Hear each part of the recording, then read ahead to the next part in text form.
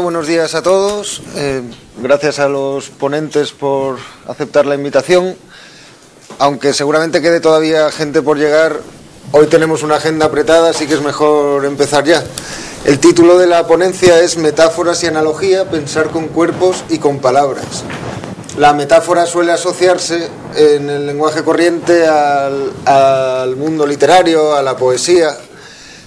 Hay quien dice que sirve para adornar, sirve, según algunos, para tal vez aclarar o, eh, permitir algunas asociaciones, también sirve para oscurecer, pero muchas veces suele pensarse que no sirve para pensar rigurosamente, suele oponerse pensamiento riguroso a metáfora. Eh, sin embargo, como ustedes saben, en 1987 eh, del que se habló ayer, George Lakoff y Mark Johnson publicaron un libro que se llama Metáforas de la vida cotidiana, en el que decían que, al contrario, que la metáfora es parte interna del pensamiento humano. Y, y además lo vinculaban, hablaban de metáforas que tienen que ver con operaciones de los sujetos humanos, con el cuerpo humano en general, y cómo esas operaciones permitían organizar el mundo y, conceptualizarlo. Entonces, por ejemplo, la, comprensión, ¿qué significa comprender algo? Pues ellos, ellos dicen, pues utilizamos el puño, como hacían los estoicos. Entonces, para, para conceptualizar la idea de comprensión, hacemos así, captamos algo. En 1999, estos dos mismos autores publicaron un libro más gordo que se llama Philosophy in the Flesh, que se puede traducir por Filosofía encarnada, en el que toman esta misma idea de las, de las metáforas desde el punto de vista de su lingüística cognitiva y, sacan más desarrollos de tipo ontológico y nosiológico. Algunos de ellos me parece que interesantes desde el materialismo filosófico, sobre todo en lo que tienen que ver con la, con la configuración del, mundo del mundus spectabilis, del mundo que vemos, por parte de los sujetos que operan en él. Sin embargo, a pesar de que, de que efectivamente hay partes interesantes en el libro, Creo que, una de sus carencias es una teoría de las instituciones. Eh, no, no, las operaciones a las que se refieren son muy simples, de juntar y separar un cuerpo, un sujeto operatorio, solo aislado, como si no tuviera historia. Entonces, por ejemplo, hablan de la idea de categoría desde la metáfora. Dicen, claro, categoría es una idea que viene de, de encerrar algo en un recinto, y entonces decimos que eso es una categoría. Pero claro, la idea de categoría filosófica en Aristóteles históricamente seguramente tenga más que ver con instituciones jurídicas, eh, como ha dicho Gustavo Bueno a veces, las preguntas que se les hace al reo, etcétera. Entonces, vale que la metáfora tenga importancia, pero claro, hay que, hay, mm, hay que hilar un poco más fino.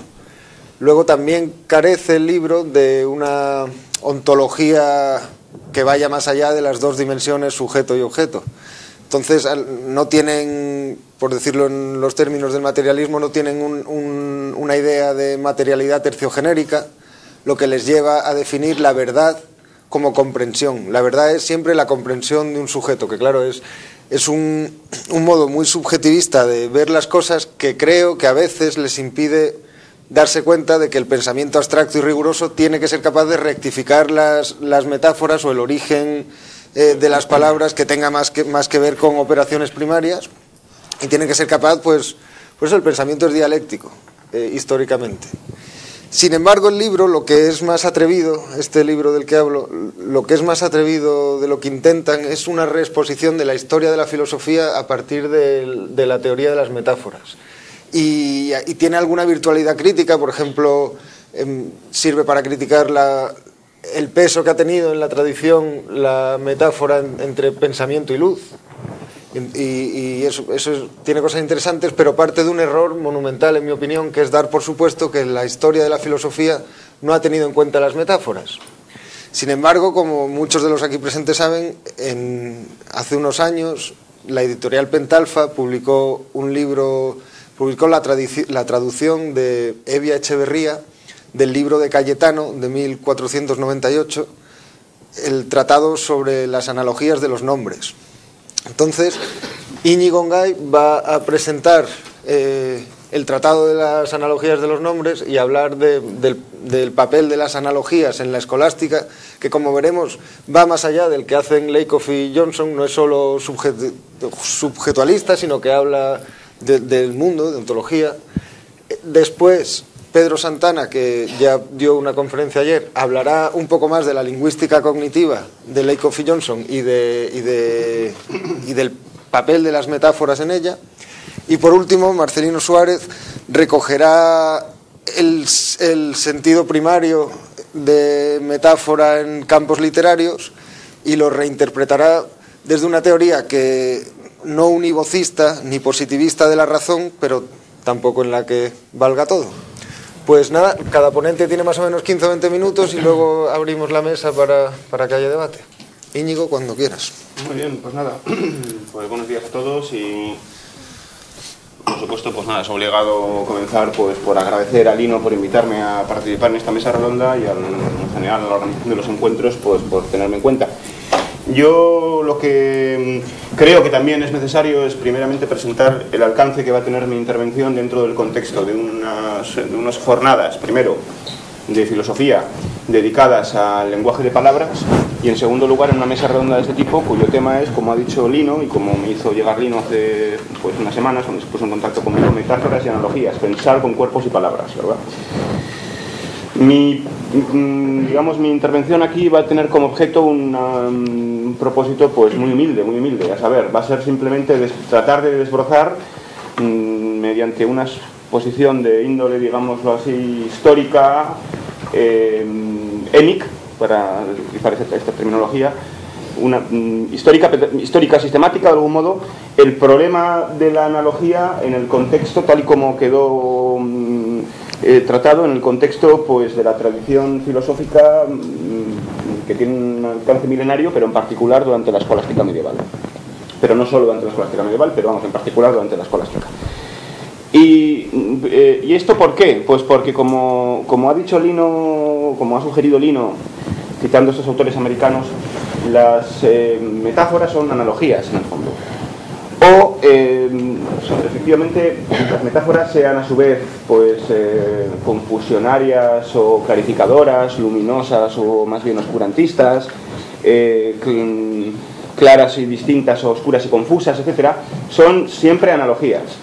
O, para decirlo de otra manera, y de una manera quizás incluso más eh, algo más rigurosa, más bien, eh, son, las eh, analogías, las son metáforas. Es decir, las, analogías son metáforas. Concretamente, Aristóteles en su poética distingue cuatro géneros de metáforas, como es bien conocido, y en fin, pues se refiere a cuatro clases de metáforas en general, eh, dentro de pues, sus, sus análisis de retórica, dar a, un género el nombre de una especie, a una especie el nombre de un género, dar a una especie el nombre de otra especie, y dice, o bien por analogía. Las metáforas se dicen de cuatro maneras. Una sería cuando damos a una especie el nombre de un género, otra cuando damos a un género, al contrario, el nombre de una especie, o cuando dentro de un mismo género damos a una especie el nombre de otra, dice Aristóteles, la cuarta clase es por bien, o bien por analogías. Y mm, esta cuarta clase de metáfora le ha cumplido pues, eh, disfrutar un papel central, desde luego, a la historia de la, no solamente de la filosofía, sino de la, de la ciencia y, en fin, en general, ¿verdad? Y, desde luego nos parece que, tampoco es casual que sea así, porque mm, la, cuestión que plantea Lino un poco al principio, de si las metáforas son adecuadas para pensar rigurosamente o no, es que es, eh, a nuestro juicio inexcusable pensar con metáforas de alguna manera. Utilizar metáforas eh, para pensar, etcétera, es algo inexcusable. Otra cosa, por supuesto, y aquí está la cuestión, es eh, qué tipo de metáforas se eligen, ¿verdad? Que si son, porque hay metáforas que no son adecuadas, que más bien embarran el terreno, que confunden o eh, destrozan las conexiones entre los conceptos, etc.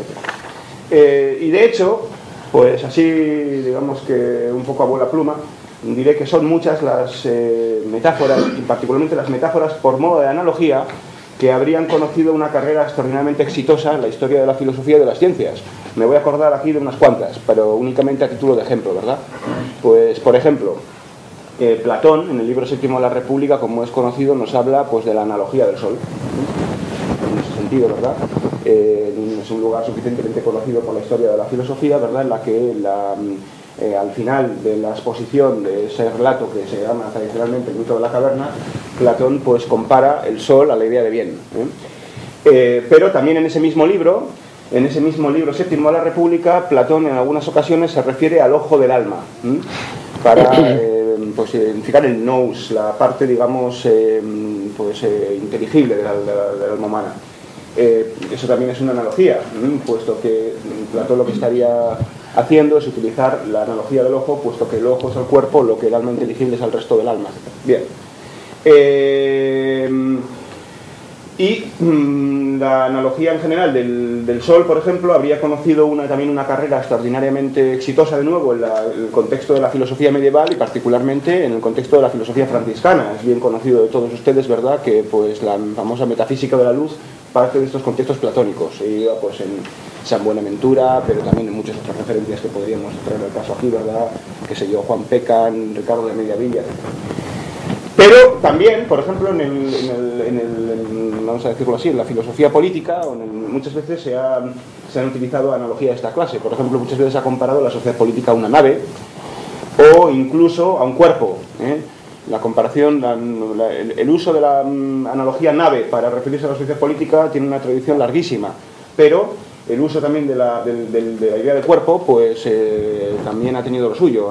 Podríamos referirnos, por ejemplo, al Leviatán de Hobbes, ¿eh? como una de las referencias más inexcusables este, en este punto.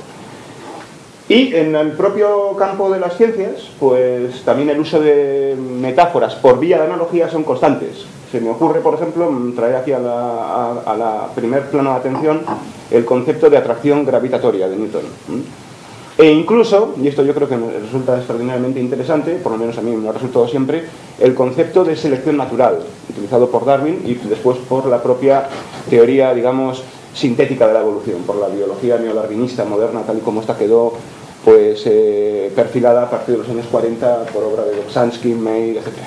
Claro, la, el concepto de selección natural pues no deja de ser también una analogía, y una analogía que incluso, tal y como se utiliza en la biología contemporánea, parece muy poco rigurosa, parece más bien oscurantista, porque no parece que, ¿verdad?, que la biología contemporánea excluye la presencia de un demiurgo selector y por tanto que queda ahí de la selección, ¿no? La proporción se ha perdido. Bueno, pero precisamente la problemática de la analogía, tal y como la voy a tratar aquí, al margen de estos ejemplos iniciales, eh, para mesurar la importancia del asunto, eh, tiene mucho que ver,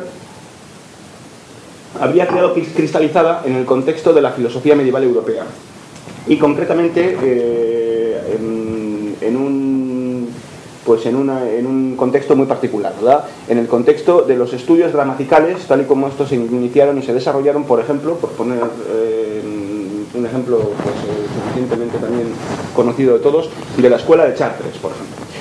Es decir, que eh, los estudios gramaticales, y esto nos vincula inmediatamente con el objeto del presente congreso, de, pues, las presentes conradas, constituye un contexto positivo, mm, digámoslo así, categorial, tecnológico, eh, en la que una realidad tecnológico-institucional, como pueda ser el lenguaje de palabras, pues eh, inmediatamente muestra a las claras sus conexiones Em, digamos, ontológicos generales eh, y especiales. ¿eh? Vamos a verlo, vamos a ver cómo. Es decir, que los estudios gramaticales, tal y como se construyeron en la Edad Media, enseguida pudieron em, interferir con problemas ontológicos de naturaleza, por ejemplo, teológica ¿eh? y de otras muchas naturalezas. Y esta es la razón por la cual, desde, desde el inicio del desarrollo, por ejemplo, de la escuela de Chartres y, y aún antes, el estudio de la gramática, los estudios gramaticales fueron observados con cierta suspicacia por parte de teólogos fideístas como San Pedro Damián. ¿eh?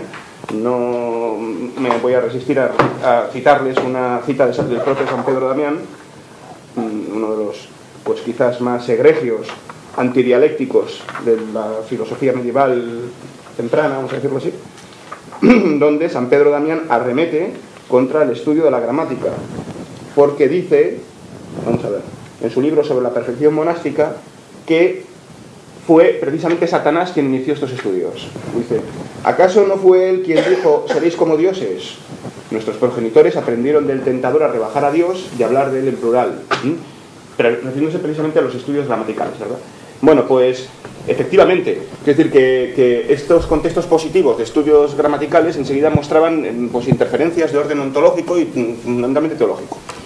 Bien, lo que es eh, quizás em, pues, eh, necesario decir en este contexto, por como aunque me van a disculpar porque esto que voy a decir pues es una trivialización de un problema que se discutió durante milenios, una trivialización casi escolar, pero tengo que partir de algún lado, ¿verdad?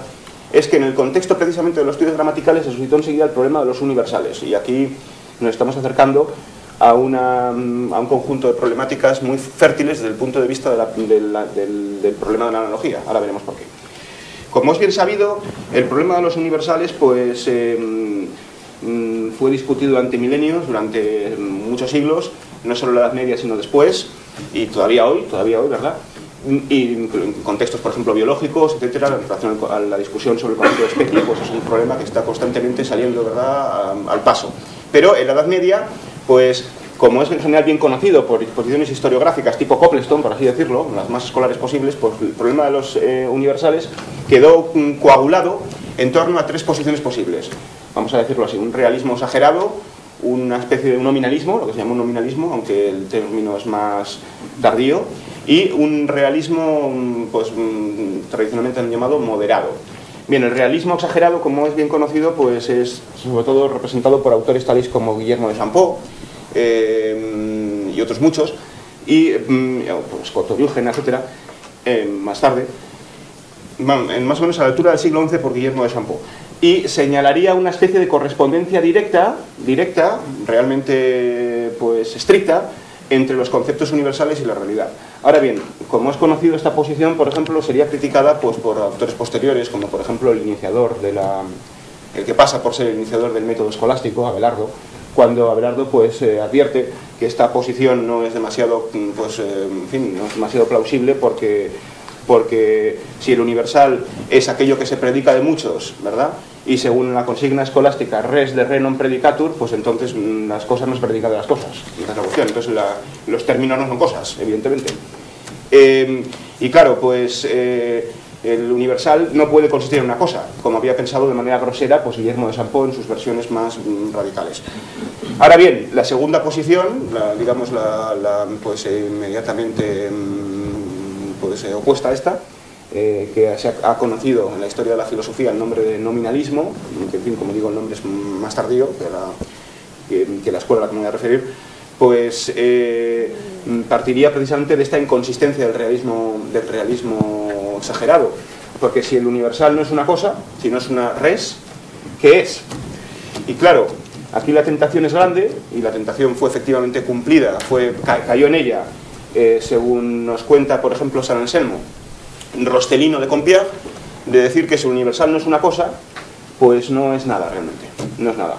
Esta es la posición de Rosselino realmente. Muchas veces se dice que Rosselino afirmó, esto lo dice San Anselmo, que los universales, por ejemplo, los conceptos abstractos, son simplemente eh, soplos de voz, platus vocis. Mm, lo cual querría decir que solamente es una palabra. No, ni siquiera es una palabra porque precisamente al no estar vinculado con ninguna referencia conceptual objetiva, desde la posición de Rosterino, los universales no serían ni siquiera palabras, serían simplemente pues eh, concatenación de, una concatenación de sonidos, un flatus vocis. Y entonces eh, pues esta postura, sin embargo, pues es absolutamente, en fin, ha merecido críticas de todo tipo y mm, para, para referirme solo a una, mucho, mucho más contemporánea, voy a, voy a citarles unos párrafos de de una frase de Bertrand Russell en la que lo dice con, un, pues con una ironía, con una ironía extraordinaria, como era propio de él. Vamos a ver. Bertrand Russell afirmó, ¿eh? refiriéndose a Rosterino en su famoso libro de la historia de la filosofía, ¿verdad? Eh, en su famosa historia de la filosofía, en el primer volumen, cuando se refiere, se refiere eh, en un capítulo a la polémica de los universales dentro del contexto de la filosofía medieval, dice, hablando de Rosterino, de la doctrina según la cual los universales son platos bochis. Si esto se toma en sentido literal, significa que un universal es un hecho físico, vamos a decirlo así, que tiene lugar cuando pronunciamos una palabra. No obstante, resulta difícil de aceptar que Rostelino afirmase algo tan estúpido. Bien. Porque si efectivamente tomaba así, esta posición es realmente pues, eh, indocta. Es, es obvio que un concepto abstracto no es eso. Y además de indocta, y esto era tan importante o más en el contexto propio de Rostelino, es una posición que es teológicamente muy arriesgada. Porque eh, son muchas las voces, por ejemplo la de San Anselmo, que afirman que precisamente estos polvos gramaticales llevaron a los globos teológicos en los que quedó embarrado Rostelino al afirmar el triteísmo. Claro, es decir, que hay tres dioses en lugar de uno, eh, mm, dice San Anselmo. Eh, aquel que no es capaz de entender cómo los distintos bueyes en su especie no son más que un solo buey, ¿cómo podrá comprender que la naturaleza profundamente misteriosa de Dios, varias personas, cada una de las cuales es perfecto, eh, constituyen? ¿Mm? Bueno, eh, y como es bien conocido, pues frente a estas dos eh, mm, posturas, vamos a decirlo así, mm, pues absolutamente descocadas, ¿verdad? El nominalismo rosteliniano y el realismo extremo de Guillermo Sampo, pues al final se tendieron a decantar posturas como la de Abelardo, sobre todo la de Santo Tomás de Aquino, que podemos y efectivamente pues, roturar con la mayor parte de tratadistas de la historia de la filosofía como realismo moderado, según la cual los universales serían palabras, sermos, pero, eh, pero que pueden ser predicados pues, eh, de, múltiples objetos, digamos. Ahora bien, los objetos pueden recibir el mismo nombre de tres maneras distintas, y esto es algo que los escolásticos enseguida pues, tendieron a observar perfectamente bien, basándose en, en, pues, en lugares aristotélicos muy concretos, etc. Los, digo que los objetos pueden eh, recibir el mismo nombre de tres maneras distintas, ¿eh? al límite. Eh, primero, unívocamente, cuando un término mantiene el mismo sentido en dos usos diferentes, es decir, que el término mantendría exactamente la misma, el, mismo, el mismo sentido mismo, en dos usos distintos. Equívocamente, cuando un término mantiene una pluralidad de sentidos diferentes, pero sin conexión, digamos, eh, interna entre ellas, por así decirlo, y eh, es decir, serían términos que cubren sentidos eh, sencillamente diferentes, totalmente distintos, totochelo diversos, por así decirlo, y por último, análogamente, y aquí está la madre del cordero, porque análogamente, ¿verdad?, la predicación análoga tiene lugar, y aquí está la verdad de la cuestión, cuando eh, los términos análogos mantienen sentidos distintos pero con alguna conexión eh, interna, de, un, modo u otro. Y, en esta dirección, eh, pues cabría decir que los términos análogos, que es algo en lo que, lo que repararemos después, mantienen, sí, sentidos distintos y en, este, en, este, en esta dirección cabe decir que son equívocos, pero estos sentidos distintos están interconectados mm, por alguna razón que veremos después. A su vez, hay varios tipos de analogía. Eh, y en esta razón se acercarían a los unívocos. Por lo tanto, para decirlo así en bruto, la analogía sería una especie de mezcla entre univocidad y equivocidad, por así decirlo. Eh, aunque eh, estos diferentes sentidos que cubren los términos análogos, pues tienen desde luego una conexión interna que no se agota, no, es puramente exterior, pero que tampoco cabe confundirla con la univocidad. Esta es la cuestión. Los escolásticos Santo Tomás eh, a la cabeza, como dio tiempo, Lino. Medio mal. Ah, bueno, no, rápidamente. Eh, con Santo Tomás a la cabeza, pero sobre todo con, mm, vamos a referirnos aquí a que efectivamente Lino lo ha citado antes, con Cayetano, en su libro Tratado sobre Analogía de los Nombres, que es un libro del siglo XV, como ha dicho Lino, basándose a su vez en Santo Tomás, distingue tres tipos de analogía, las que voy a, lamento la mm, prolijidad del principio, pero bueno, esto me obliga ahora a ajustarme, vamos. Bien, eh, Cayetano distingue, pero en fin, eh, entre tres eh, tipos de analogía. En primer lugar, lo que él llama analogía de desigualdad, lo que él llama después analogía de atribución y lo que se llama también analogía de proporcionalidad. En fin, esto pues hay precedentes ilustrísimos, ya digo, sobre todo Santo Tomás, pero vamos a ceñirnos al caso de Cayetano porque su exposición es muy clara y absolutamente modélica. tal y como pues la, además la ha analizado después Elia Echeverría, en su, sobre todo en su prólogo. Bien, analogía de desigualdad según Cayetano es o son análogos de desigualdad aquellas cosas que reciben el mismo nombre y cuyo concepto, de acuerdo con el significado del nombre, es del todo idéntico, aunque desigualmente participado. Claro, esta definición no dice nada, pero enseguida ponemos un ejemplo y se aclara la cosa pues, notablemente.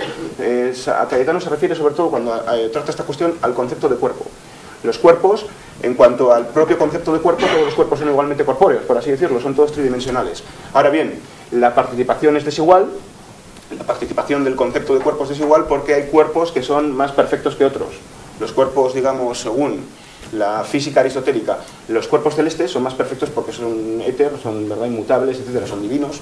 Eh, mientras que los cuerpos, los cuerpos, digamos, infralunares, pues son cuerpos también, por supuesto, según el propio concepto de cuerpo, eh, se predica de ellos eh, exactamente igual, pero con una desigualdad de participación, con lo cual hay una diferencia de posterioridad y anterioridad en la perfección con la cual se mm, participa, digamos, el propio concepto del análogo.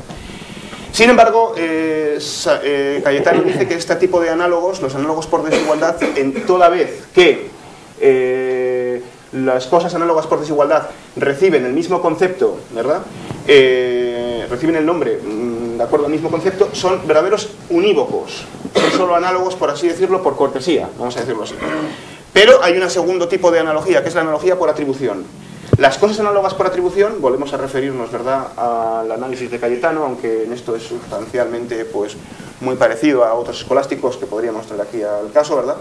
Son cosas que poseen el mismo nombre y cuyo concepto sería idéntico respecto al término, pero distinto según las relaciones que se establecen con ese término.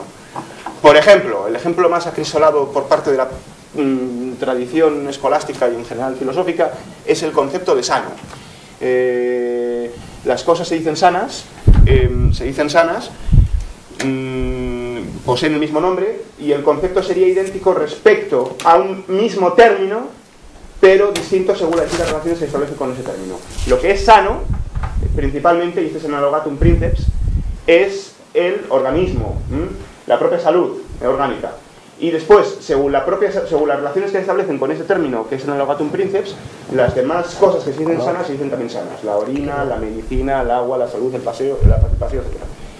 Finalmente, mm, estos análogos de atribución serían, según la definición convencional, serían simplemente diversos, pero según algo, según su relación a un primer término, lo mismo. Simplicidad diversa, un quid e adam. Bien, y finalmente hay una analogía también que tiene una gran importancia, que es la analogía de proporcionalidad. Ah, cosas análogas proporcionalmente son aquellas que tienen un nombre común y cuyo concepto, de acuerdo al significado de este nombre, es idéntico, pero proporcionalmente.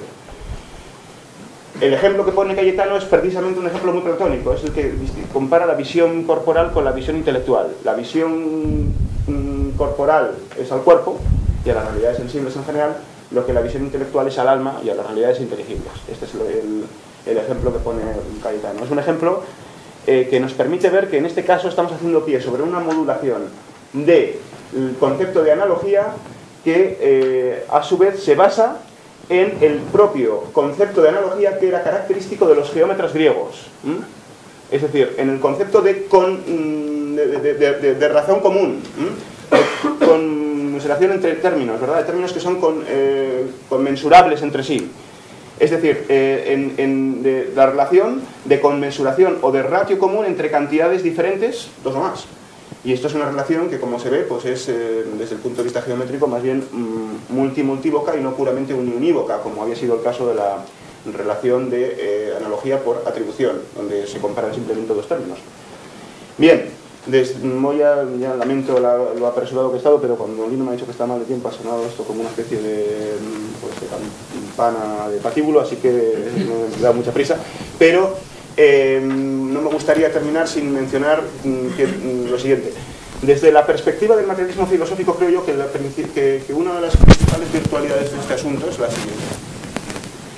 Es que, como, ya dije, la analogía, en la medida en que ha tendido a ser considerado por así decirlo, como una, una idea puntualmente y, exquisitamente dialéctica, en tanto que exquisitamente dialéctica casi en términos hegelianos, ¿verdad? saben ustedes que Hegel definía la dialéctica, una de las, sus, de las fórmulas que él emplea tan rotundas es la identidad entre identidad y diferencia.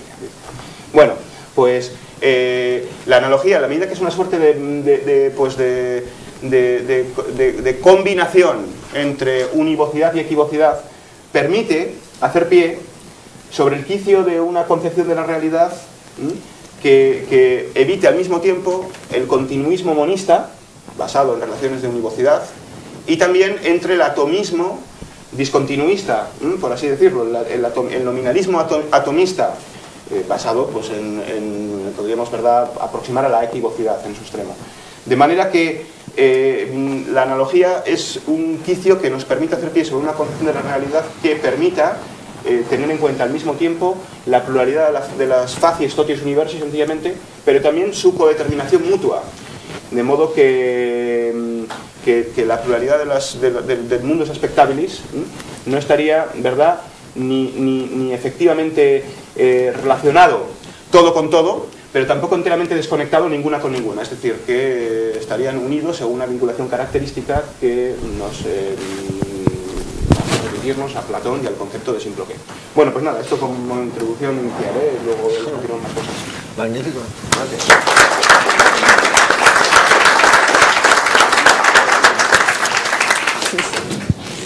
Pues Pedro, por favor. Sí, bueno, buenos días. Eh, como moderador, y a quien agradezco por su invitación, me había encargado que hablase del asunto este desde la perspectiva de la lingüística o algo así, como si eso eh, pudiera ser, y estaba ahora mirando eh, los índices de las ondas de Leikov y tal, de dos de ellas, para ver un poco cuánta parte, parecía que hablaba de filósofos y cuánta de, de lingüistas, entonces están como bastante equilibrados, o sea que, que parece que el hombre mezcla, pretende mezclar bastante las dos cosas o no se escapa de una de Yo lo que me había planteado era contar un poco, con, en fin, con las simplificaciones que sean precisas, la, la historia de, académica de Leikov y de sus ideas y partiendo de una manera bastante interna, partiendo de, de la dinámica de, la lingüística misma y de, su carrera como lingüista, porque él, eh, más o menos eh, es, eh, fue un, un, estudiante, digamos, de los primeros estudiantes de Chomsky. Y sus contribuciones técnicas a la gramática transformacional son realmente importantes. En el libro famoso de Neumeyer, Los 25 primeros años de la lingüística generativo-transformacional, pues se cuentan buena parte de estas cosas. Eh, él había nacido en 1941, o sea que en los años finales de los 50, principios de los 60, fue estudiante, además con estos estudiantes americanos que estudian lingüística, matemáticas, no sé qué, estas cosas, esto indica que, que era un hombre bastante eh, experto en, cuestiones formales, tratamiento formal de las cosas, de lógica y esas cosas. Y el momento clave en el asunto este sucedió a finales de los años 60 en lo que se llamó las llamadas guerras lingüísticas. Hay un libro de Harris, que es, yo así me parece, las guerras lingüísticas, en que se cuenta esto, y hay también un libro de, Robin Leiko, que, que mencionó Felipe, por cierto, eh, que también se da una, una versión más de, parte de, del asunto. Y el, el asunto, eh, el asunto interno, digamos técnico, por el que parte es muy curioso, porque real, realmente cierta, se puede ver como cierta paradoja. Eh, y es que, eh, en cierto modo, la gente que patrocinó este, este cisma de la semántica generativa era gente que, que, en cierto modo quería ser más, más rigurosa que Chomsky en un aspecto, en el aspecto de la semántica. En el modelo de los años 60, el modelo de aspectos y el que hubo después, es cuando se establece la famosa estructura profunda y la estructura superficial, de que todos hemos oído hablar, en varias se plantean eso que se llaman las transformaciones, que son un tipo de, de reglas que se utilizan en el formalismo de esa gramática. Eh, la idea que se hacía Chomsky de esa estructura profunda era, por decirlo con todas las simplificaciones que hacían al caso, relativamente eh, sencilla. No había demasiada información demasiado significado, por decirlo de algún modo, en esa estructura profunda. Pero lo que autores como Leto, como Ross, Macaulay, que serían fundamentales de esta semántica generativa, hicieron fue poner más carga, más contenido, más información en esa estructura profunda.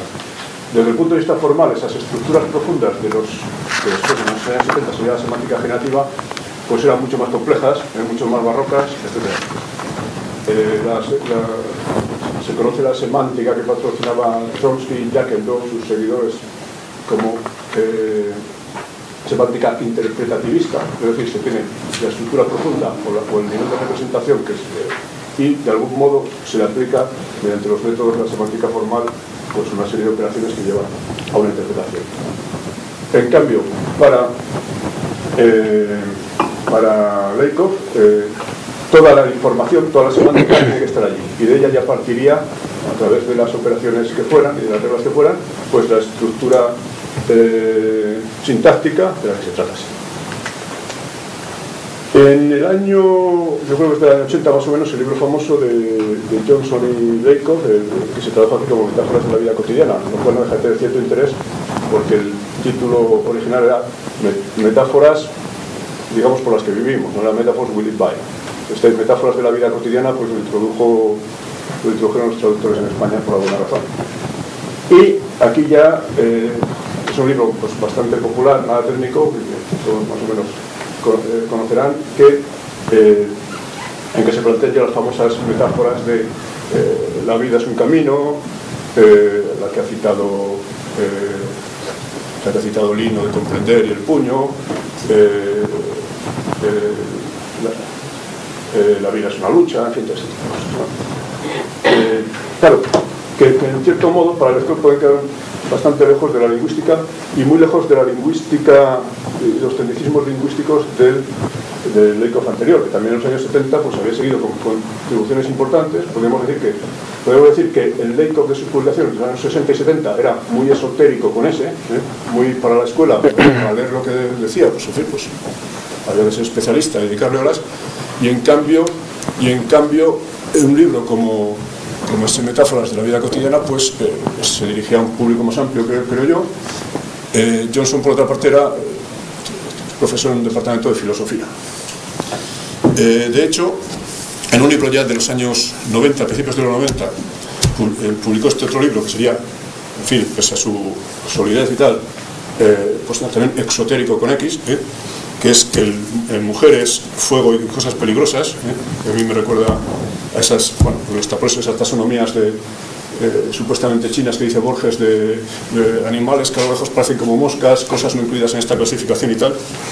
Bueno, pues eh, en una reseña que se cita aquí, que apareció en, una revista académica, pues claro, yo creo que sin saberlo el, el reseñador, pues pues acierta de algún modo. Dice, lo que aquí dice, las tesis de aquí son serias y probablemente intrigarán a lingüistas, psicólogos, filósofos y teóricos de la literatura en los años venideros. Claro, digamos que, se, que, ya se había sobrepasado el ámbito de la lingüística El título de, de este libro es muy curioso, y a mí yo recuerdo que me llamó la atención lo que las categorías revelan sobre la mente. Bueno, esto sobre la mente pues es un poco pues, todos los lingüistas hablan de la mente. Pero claro, aquí sí que hablaba de las categorías. A mí me suena un poco a haber recuperado, o sea, como análisis filológico, el término aristotélico, categorías, porque claro, realmente cuando uno lee, y la, recepción que se hizo del libro de las metáforas era algo así como profundamente, con toda la superficialidad que puede tener esta, esta lectura, anti-aristotélicos. Bueno, no existen categorías fijas, todo esto es no sé qué, ese tipo de, de recepción. Y lo curioso de este libro es que tiene dos partes ¿Eh? Bueno, pero eso no, lo, revelador. Bueno, el libro 1, que es, eh, que es eh, como dos tercios del libro, se titula La mente más allá de la máquina, pues claro, esto es una referencia al, fantasma en la máquina, todo ese tipo de cosas, que la parte 1 es categorías y modelos cognitivos. Él habla de, uno de sus conceptos clave, que son los modelos cognitivos idealizados y cosas de estas, pero la segunda parte la segunda parte, que en extensión es eh, mayor que la primera, es, se titula Implicaciones filosóficas. Eh, y yo creo que aquí él hace, eh, pone, pasa fundamentalmente, como luego pasará en Philosophy in the Flesh, lo que decía, lo que decía Lino, que es que junto pues, a, observaciones, comentarios muy atinados, a, a observaciones de muchísimo interés, pues hay al menos cierta ingenuidad cuando se enfrenta pues, a, la historia de la filosofía. ¿eh? Yo creo que eso se hace bastante, bastante evidente incluso para, yo diría que para cualquier lector. Eh, y él construye una serie de fantasmas, pues, la metafísica, bueno, o redefine la metafísica objetivista, eh, cosas así, ¿no? Y eso llega ya, digamos, a finales de este libro es de principios de los 90, creo, a finales de los 90, en Philosophy in the Flesh, que es del año 99, donde eh, claro, pues se lanza a un ataque bastante, bueno, ataque, en fin, a unas consideraciones junto con Johnson bastante peculiares sobre toda la historia de la filosofía. lo cual no está mal, pero sí que da la sensación de que, de que en fin, como decía antes, y una apreciación absolutamente superficial, pues, pues peca cuando menos de ingenuidad. Habría que verlo un poco más el asunto, ¿no? A mí me, me llama mucho la atención el tono de alguno de estos, de estos estudios y análisis que hace, y yo antes le decía a Marcelino que, eh, que me recuerdan, cambiando ahora de cosa, me recuerdan a un sumario de un libro eh, que hay sobre lógicas difusas y estas cosas, que el sumario es el siguiente, en el mismo libro. Existen dos categorías de pensadores. Aquellos para los cuales eh, existen categorías definidas, nítidas, estrictas, de límites bien dibujados, y aquellos otros para los que las categorías están eh, dibujadas, eh, están mezcladas, son de límites borrosos, etcétera, etcétera. Claro, pero en el arranque del libro, ellos que van a defender lo segundo, hacen un planteamiento totalmente los primeros. Aquí pasa lo mismo cuando dice, por ejemplo, bueno, ¿qué pasa? ¿Cuál es el problema con Platón? Pues que Platón se apuntó al mito de la existencia de las ideas, o se apuntó a la idea de tal. Me voy a ahorrar la cita, estoy cambiando algo, pero claro, realmente a mí me da la sensación de que, de que al, hacer ese planteamiento no está más que, más que confesando que no hay otra manera de pensar o de escribir de esa manera, diciendo que, que hay cosas de las que hablar no, no, no nada, no, puede poner en cuestión precisamente, él está barriendo los fundamentos mismos de su, de su razonamiento, o ellos. ¿eh? No se sabe muy bien qué parte sería de Laikoff y qué, parte de Johnson. Esto, eh, que tenemos ahí la alianza, digamos, del profesor de filosofía y del lingüista. El otro libro que, que, me parece que has citado, el de More Than Cool Reason, al que luego se referirá Marcelino, seguramente está escrito con un teórico de la literatura que es este Turner, que, que en fin, que, que, a mí, no sé si me meto un poco en, tu terreno, me, pasa una cosa con él, que me da la sensación de que no es tan novedoso, de que se parece mucho a cualquier otro libro de teoría de la literatura, o de comentarios de poemas o cosas así. Y eso a mí me parece un poco revelador de la de la actitud ante, no solo ante la historia de la, de la filosofía, sino también de la lingüística o de la retórica, de la metáfora en concreto de, de Y es que para poner de relieve su propia teoría, él construye un fantasma de lo que es pues, la poética y la retórica de Aristóteles, empezando por ahí, y luego, digamos, hay otros capítulos importantísimos del asunto que directamente yo creo que ignoran. Eh, porque, por ejemplo, la importancia para el léxico de cualquier lengua de la metáfora, o de la metonimia, de la sinécdoque, es algo que ningún lexicógrafo ignora. Y eso parece que se lo salta, parece que es un gran descubrimiento, ¿no? Pero seguramente por, razones eh, que habría que estudiar, distintas y que no afectan de, hecho al fondo, ¿eh? todo esto que digo es bastante superficial, al fondo del asunto, pero sí que, que, que afectan, digamos, por ejemplo, a cómo, a la difusión de estas eh, ideas y tal. Ahora, ¿qué sucede también? Desde el punto de vista de la lingüística, seguramente hay, eh, bueno, hay muchos lingüistas para los cuales eh, la lingüística cognitiva, la, de autores como pues, Lakoff, Langacker, pues les parece poco lingüística, poco gramatical. Esto, esto es una crítica que no es justa del todo, evidentemente, pero de la, de la que se han defendido. Langacker, concretamente, eh, lo ha hecho en varias ocasiones, y hay una, un lema, digamos, que en más de una ocasión ha repetido, ha repetido Leikov, que a mí me, parece muy interesante por lo que dice y por lo que implica. Y es que eh, en, alguna, en, algún, en más de un sitio le ha dicho, bueno, yo no digo que no existan leyes de la sintaxis, las leyes sintácticas existen, pero las leyes de la sintaxis son leyes semánticas. Algo así como que, bueno, digamos, el significado de determinada forma. Eh, claro, esta es una cuestión que enlaza totalmente el, el de los años 80, 90 y actual con el, con el de los años 60. Pero ya eh, no dentro del, fin, del contexto de la lingüística de Chomsky, sino basado en, otras, eh, en otros principios y con otros fundamentos, como los, la metáfora, la metonimia, los, eh, los modelos cognitivos idealizados, ese, tipo de cosas que él va, va introduciendo. Eh, realmente, como, también como, como, primer diagnóstico, a mí me da la sensación de que los problemas y los hechos de los que tratan los lingüistas de orientación cognitiva son distintos de los que tratan los lingüistas de orientación formalista o incluso eh, funcionalista, aunque esto se puede aproximar más a los primeros. Y, eh, y la gran cuestión es hasta qué punto, hasta qué punto esas determinaciones semánticas, esas leyes semánticas que rigen eh, supuestamente la sintaxis, son semánticas. Y, ese para mí es el punto el punto, eh, el punto fundamental. Mm. Vamos a ver, si por ejemplo, ante una construcción determinada,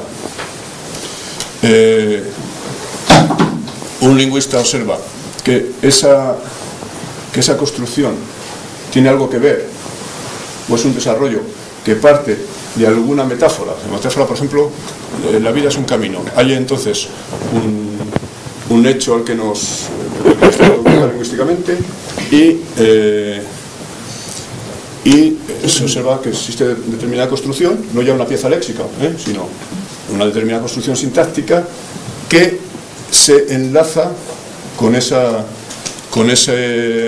metáfora de la vida es un camino que puede estar, ser algo en principio muy alejado pues, de lo que sería recorrer un móvil que recorra una trayectoria, sino que es algo que se parte de un sitio, se llega a otro. Mm, por ejemplo, he concluido he llegado al punto final de mis estudios, ¿eh? algo así, no hay digamos, un desplazamiento espacial. Entonces, claro, realmente eh, hay una parte, digamos, del análisis que es por un lado evidente, por otro trivial y por otro, poco discutible. Y seguramente esta construcción puede estar basada en eso. Pero, pero la cuestión está, desde el punto de vista, digamos, de la, teoría y, de la gramática, en que si él tiene algo así como un inventario finito de metáforas, esas metáforas ya no son tanto semántica, sino como posibilidades que guían o determinan la construcción sintáctica. Entonces alguien le podría replicar, esa semántica que dices ya no es tanto semántica, sino es otra cosa. Eso es algo muy distinto que una determinación semántica, por ejemplo, de carácter icónico, en que, en que por ejemplo, se hable de distintos hechos o de los participantes en distintos hechos siguiendo el orden en que ha tenido lugar. Por ejemplo, hablaron Lino, Íñigo, Pedro. Bueno, la sintaxis sigue el orden de, las intervenciones. Es esa es una situación distinta. La cuestión para mí es entonces ver hasta qué punto eh, eh, esas metáforas, en cuanto ya como componentes de la teoría lingüística, siguen siendo semántica o se han convertido ya en unos eh, elementos de la sintaxis. Ese sería, el, punto, el punto fundamental. Para mí, esto eh, hay autores, no de la tradición cognitiva, sino más bien de la funcionalista, en que se ve muy claro. Eh, un caso que, con el que tengo, que me parece muy claro, por ejemplo, es el del lingüista japonés, es un Kuno, que es un funcionalista, pero que intenta introducir una sintaxis, digamos, eh, consideraciones de carácter funcionalista, que no serían sintácticas, pero que una vez dentro de la sintaxis ya son sintaxis. Y esa es una cuestión que, claro, lo que merece es un análisis detallado de cada uno de los casos, etcétera, etcétera, y que aquí planteo como problema o como hipótesis que habría que, resolver yendo, yendo ya a cada una de las cosas. Y bueno, con esto ya...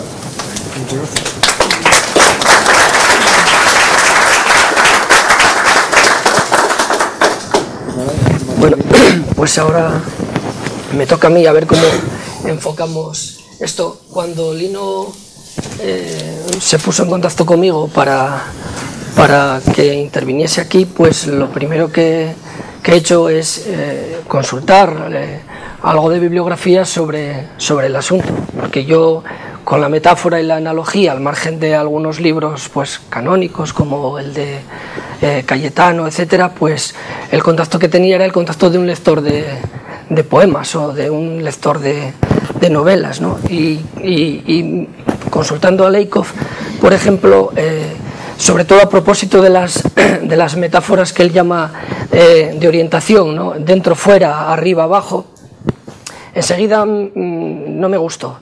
Enseguida no me gustó porque estaba como oliendo ahí cierto kantismo o por lo menos subjetivismo en la medida en que Leikov parece que reduce la metáfora de orientación dentro-fuera al propio sujeto y arriba-abajo, eh, olvidando quizás que, que, desde una perspectiva, pues la perspectiva de los prehistoriadores, el arriba-abajo, el dentro-fuera, pues tiene mucho que ver con la caverna más que con el sujeto, el entrar, el salir o con la fabricación de recipientes. Y de alguna manera esa, esa metáfora, pues en, ahí en Leikov no me parecía que estaba bien traída y que, está, y, que estaba mal construida. Entonces fui consultando también, mirando algunos otros libros, y lo que sí se puede ver es que eh, podríamos decir que es muy oportuno el título de la, de la de la mesa redonda metáfora, metáfora, analogía y metáforas porque podríamos decir que es un, son temas de nuestro tiempo, ¿no? para parafrasear aquel filósofo, eh, temas de nuestro tiempo porque hemos, he podido ver, por ejemplo, libros eh, sobre arquitectura, ¿no? por citar alguno, por ejemplo, eh, analogías entre el mundo mineral y la arquitectura contemporánea, es decir, que están utilizando el término analogía o analogía entre el mundo eh, vegetal y la, y la, arquitectura, o libros, por ejemplo, en, en las ciencias psiquiátricas o clínica gestáltica y metáforas del viaje. Es decir, que mm, desde distintas disciplinas están tratando eh, con, la, con, los nombres al menos de analogía y de metáfora, pero que además están tratando, diríamos que cada uno de una manera, valga la redundancia, manierista, es decir, a su manera, y muchos sin definirla.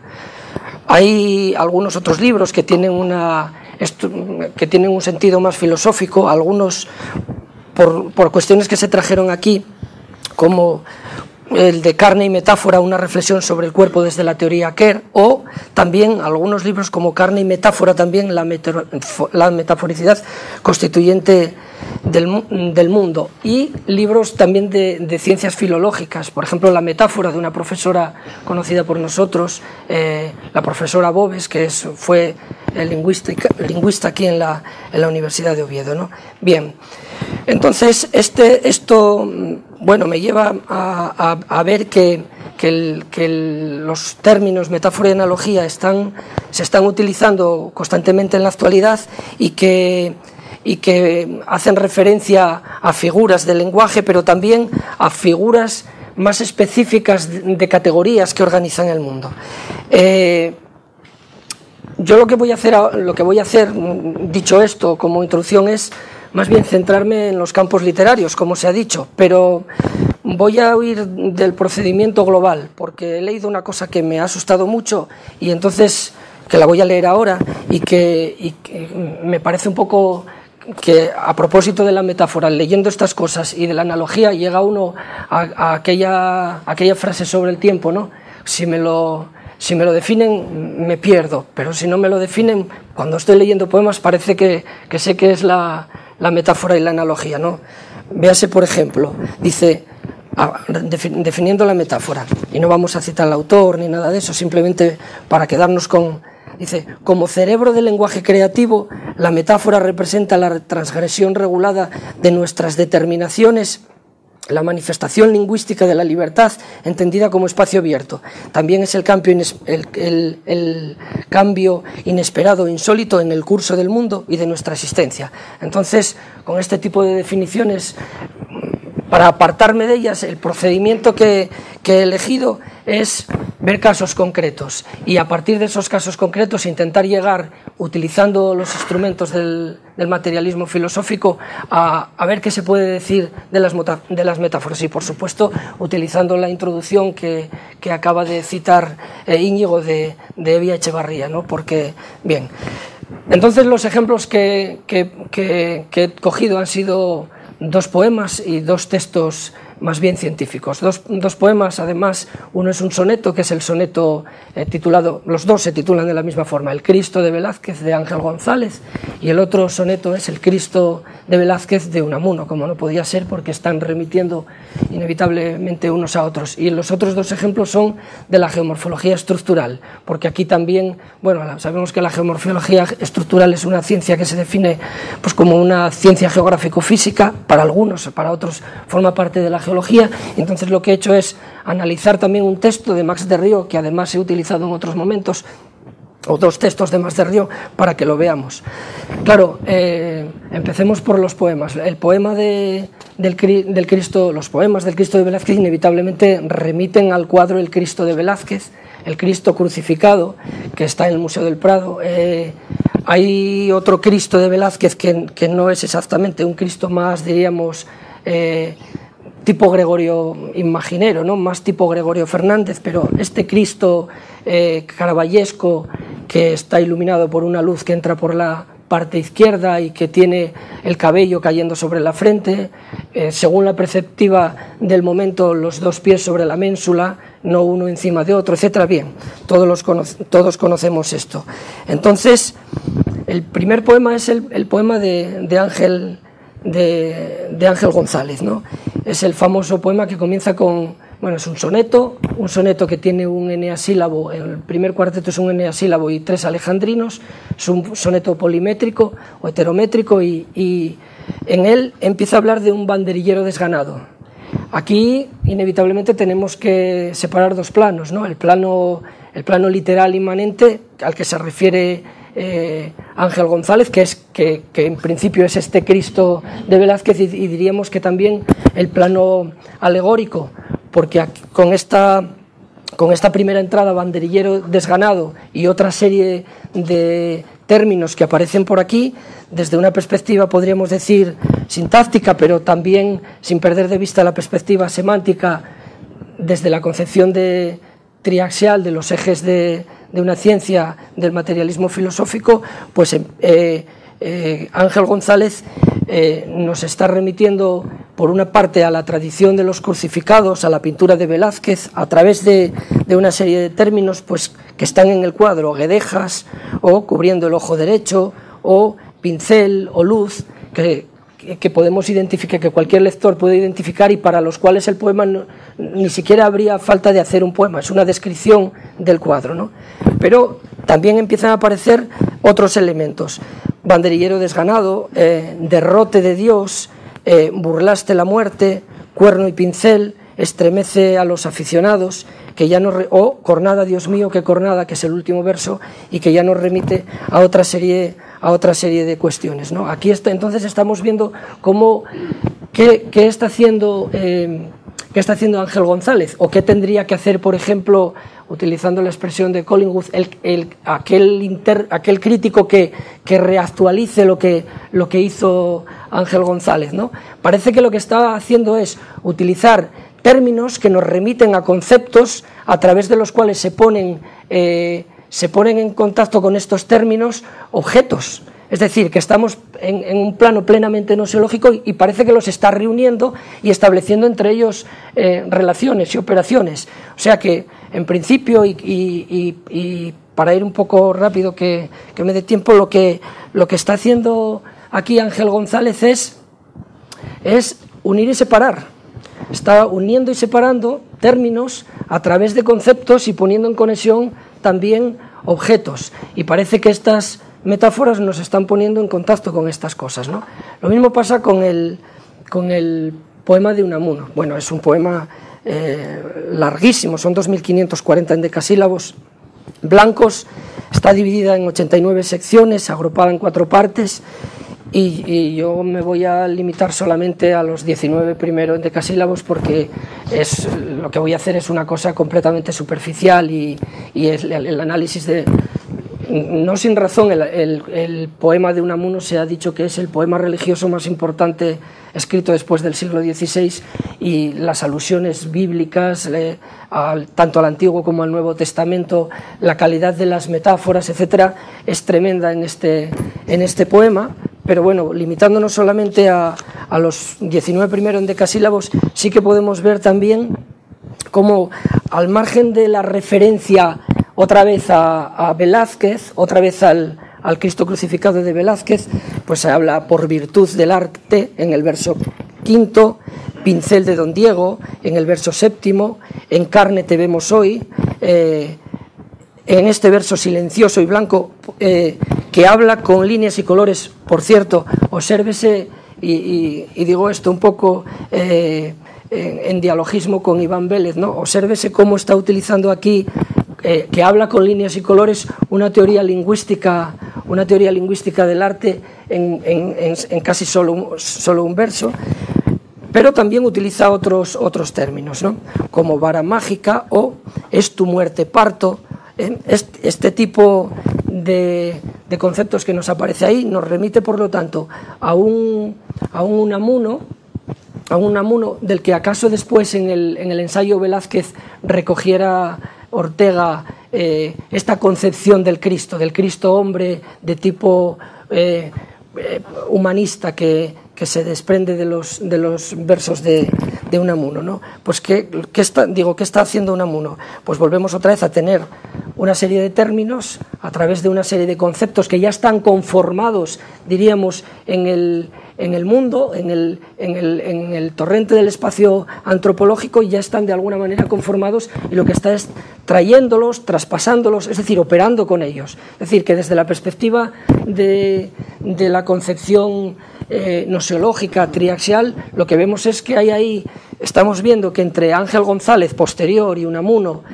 al elegir el mismo, el mismo poema estamos viendo dialogismos de alguna manera. Al mismo Ángel González construyendo su, su soneto y al mismo Unamuno construyendo el suyo, estamos viendo los autologismos, pero además estamos viendo también cómo están manejando realidades, objetos a través de conceptos con términos. Es decir, que tenemos aquí un, una, una, suerte de categorías organizadas eh, noseológicamente y, y conformándose. ¿no?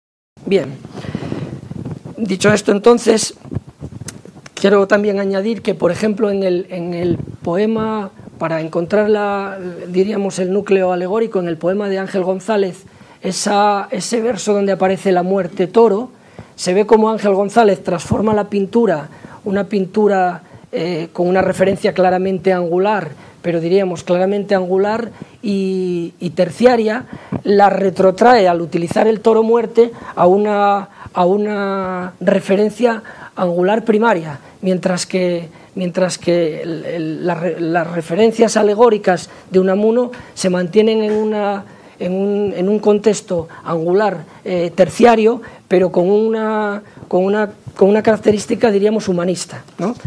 Bien, todo esto está, creo que se, puede, que se puede argumentar que está apareciendo en los poemas.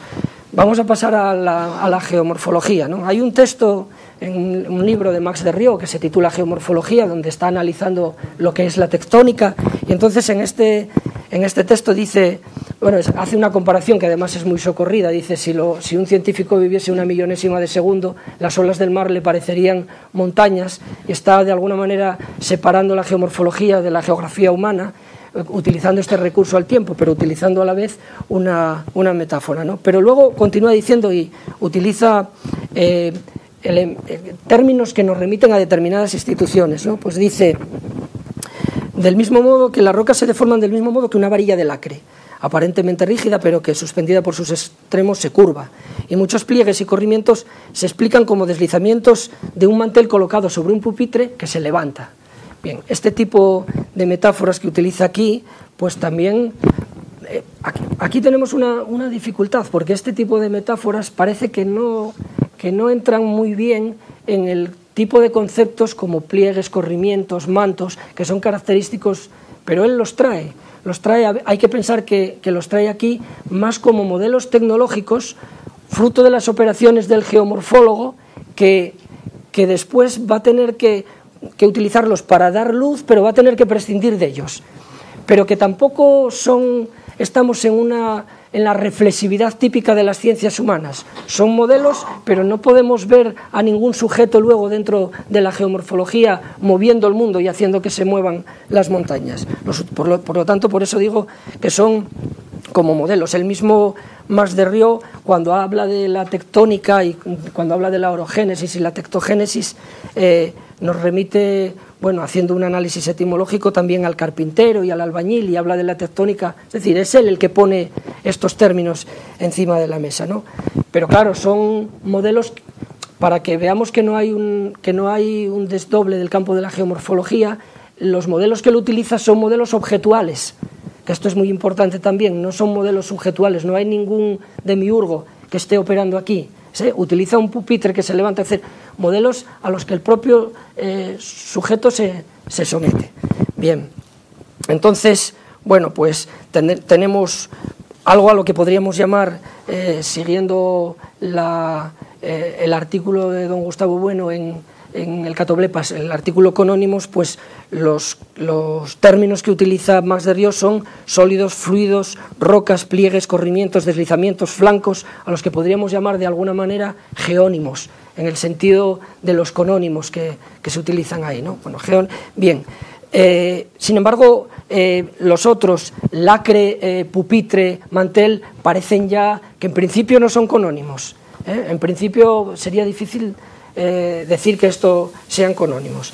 Y pasamos ya de este, de este tercer ejemplo y vamos al otro, que es el concepto, un concepto que se utiliza mucho, lo, em, emplea Koch, que es otro geomorfólogo, y lo emplea también eh, eh, Max de Río, que, que, es el concepto de pie de vache o pisada de vaca. la pisada de vacas es una suerte de banqueta que se forma en las, en las vertientes, en las zonas empinadas, sobre todo en los climas fríos y también en algunos climas lluviosos, por lo, eh, por, para referirnos a los fenómenos de dinámica de vertientes, cuando se van formando ciertos escalonamientos en forma de almohadillados que se van desprendiendo hacia, hacia el fondo de la vertiente, pues por gravedad y por descomposición de las arcillas, etcétera, ¿no? Aquí se está utilizando claramente pues, una metáfora o una analogía, que es el de pie de Bach, y que incluso nos remite a una operación, porque sería la operación del animal, pero que, pero que tampoco, que, tampoco eh, que es puramente fenoménica, porque tampoco hay un desdoble, eh, una reflexividad del campo de la geomorfología, porque tiene que prescindir luego de ella cuando hace un regresus hacia los componentes físico-químicos que aparecen aquí, pero la metáfora está ahí. Bien.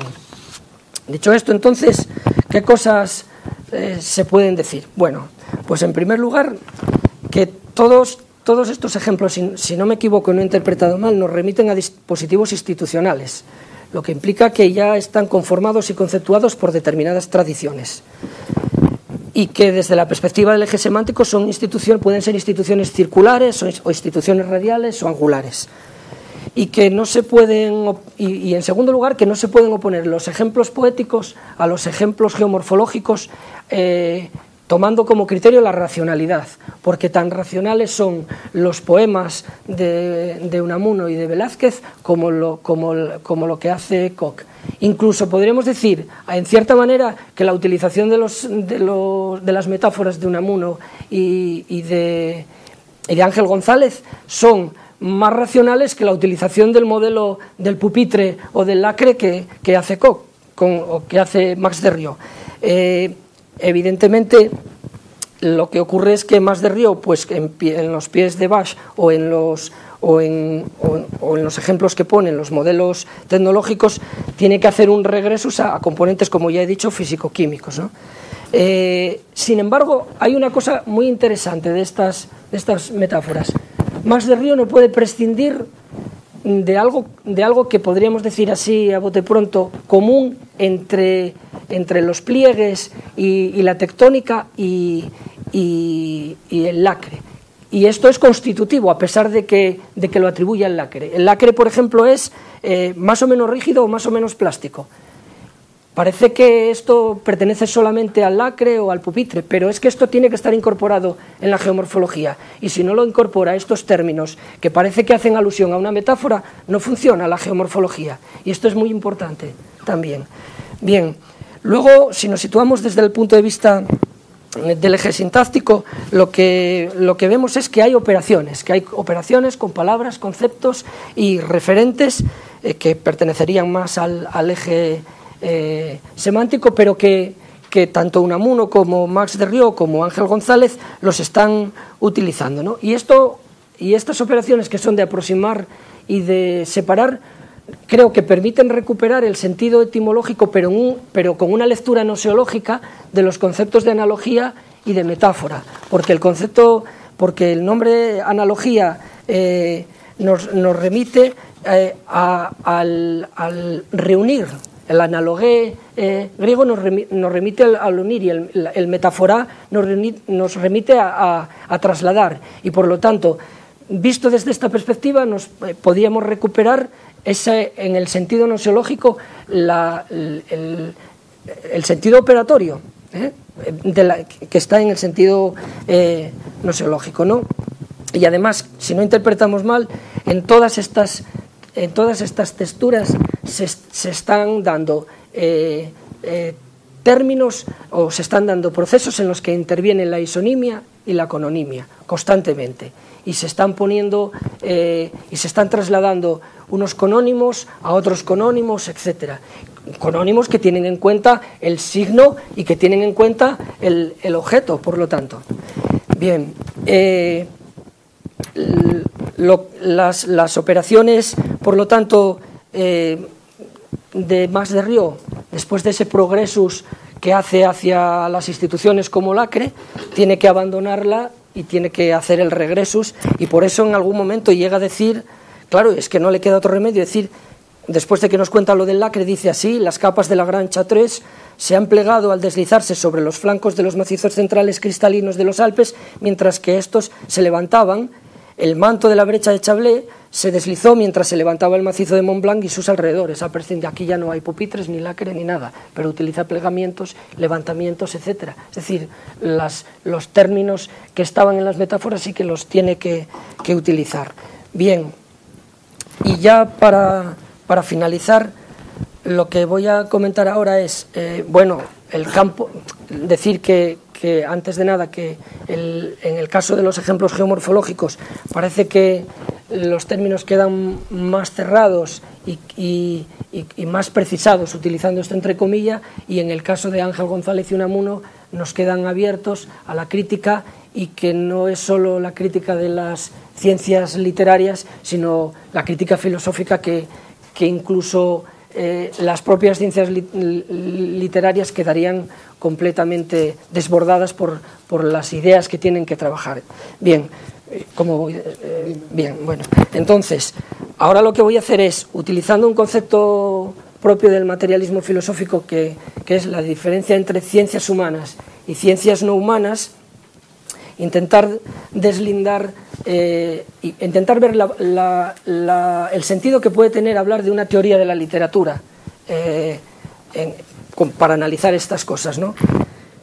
Pero claro, tenemos un problema porque los, sonetos y el poema de Unamuno, el soneto y el poema de Unamuno, no estamos, al contrario de geomorfología, no estamos ante una ciencia, sino que estamos ante, ante términos eh, molares que, sí que pueden utilizar las ciencias, las ciencias literarias. ¿no? Y entonces habría que intentar ver qué ciencias literarias son las que de alguna manera se encargan de analizar estos poemas, etc. ¿no? Estas ciencias son, como todos sabemos, pues la historia de la literatura, la sociología de la literatura, y ahí sí que podemos estar en el mismo plano cuando hablamos frente a la geomorfología, no con los poemas, porque la, la sociología de la literatura o la crítica de la literatura o la llamada teoría, literaria, concedamos ahora que esto puede ser una ciencia, eh, pues sí que están en la misma escala que la, geomorfología. Bien, eh, lo que ocurre aquí es que cuando estas ciencias se analizan, bueno, pues analizan desde una perspectiva que podríamos, por ejemplo, la sociología social o desde una perspectiva también cultural, ¿no? lo que sería, por ejemplo, cultural alfa y social eh, beta. ¿no? Para poner un ejemplo rápido en esta distinción, eh, una película, Los que no perdonan, una película de John Huston de los años, del año 60. Los que no perdonan, John Huston nos muestra cómo para luchar contra los Kiowa, que están tocando los tambores para, antes de atacar, sacan de la casa el piano u órgano que tienen y, luchan tocando el piano. Pero aquí el piano y el órgano y las flautas y los tambores de los Kiowa o el piano y el órgano de los Zakari acaban reducidos a las relaciones sociales de la familia, que son los que saben tocar, etc. Mientras que, por ejemplo, en Winchester 73 lo que vemos es un Winchester por el que van pasando varias personas en un circuito en el cual se vuelve al final y todos diríamos están quedan reducidos al Winchester en la medida en que en Winchester 73 eh, matan por poseer aquel, aquel instrumento es la institución entonces esta sería la perspectiva cultural ¿no? Pues la sociología por ejemplo la historia de la, historia de la cultura de, Peter de Peter o de Peter Burke eh, es una historia más bien cultural, en el sentido de Winchester 73, mientras que la historia social de la literatura y el arte de Arnold Hauser pues es una historia eh, social, sociológica. Ahora bien, estas historias sociales y sociológicas, eh, cuando mm, intentamos y cuando las enfrentamos a la geomorfología y cuando intentamos ver la, distinción entre esas ciencias literarias humanas y esta geomorfología no humana nos planteaba una tesitura que es la siguiente, que mientras que la geomorfología eh, prescinde de estas tecnologías y de alguna manera son estas tecnologías las que quedan envueltas en ella, en el caso de las ciencias literarias no puede prescindir de estas tecnologías y en todo caso el regresus, cuando hay algún regresus de tipo sociológico o cuantitativo, se mueve en un orden que es oblicuo, no recto como pasa en la geomorfología, con lo cual una teoría y con lo cual es imposible, por ejemplo, una teoría general de la o, una teoría sociológica general o una teoría geográfica humana general, como es imposible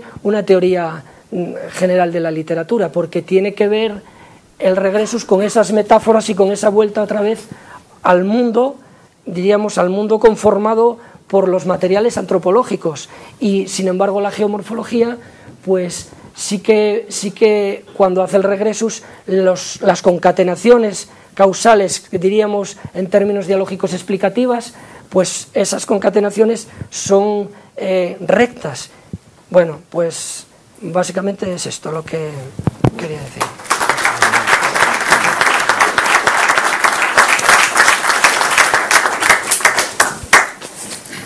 Pues nada, no sé qué les ha parecido, ha superado mis expectativas que ya eran altas. Yo no sé si habrá comentarios o si nos vamos a tomar algo ya. Pero... Yo por mi parte creo que es imposible comentar esto.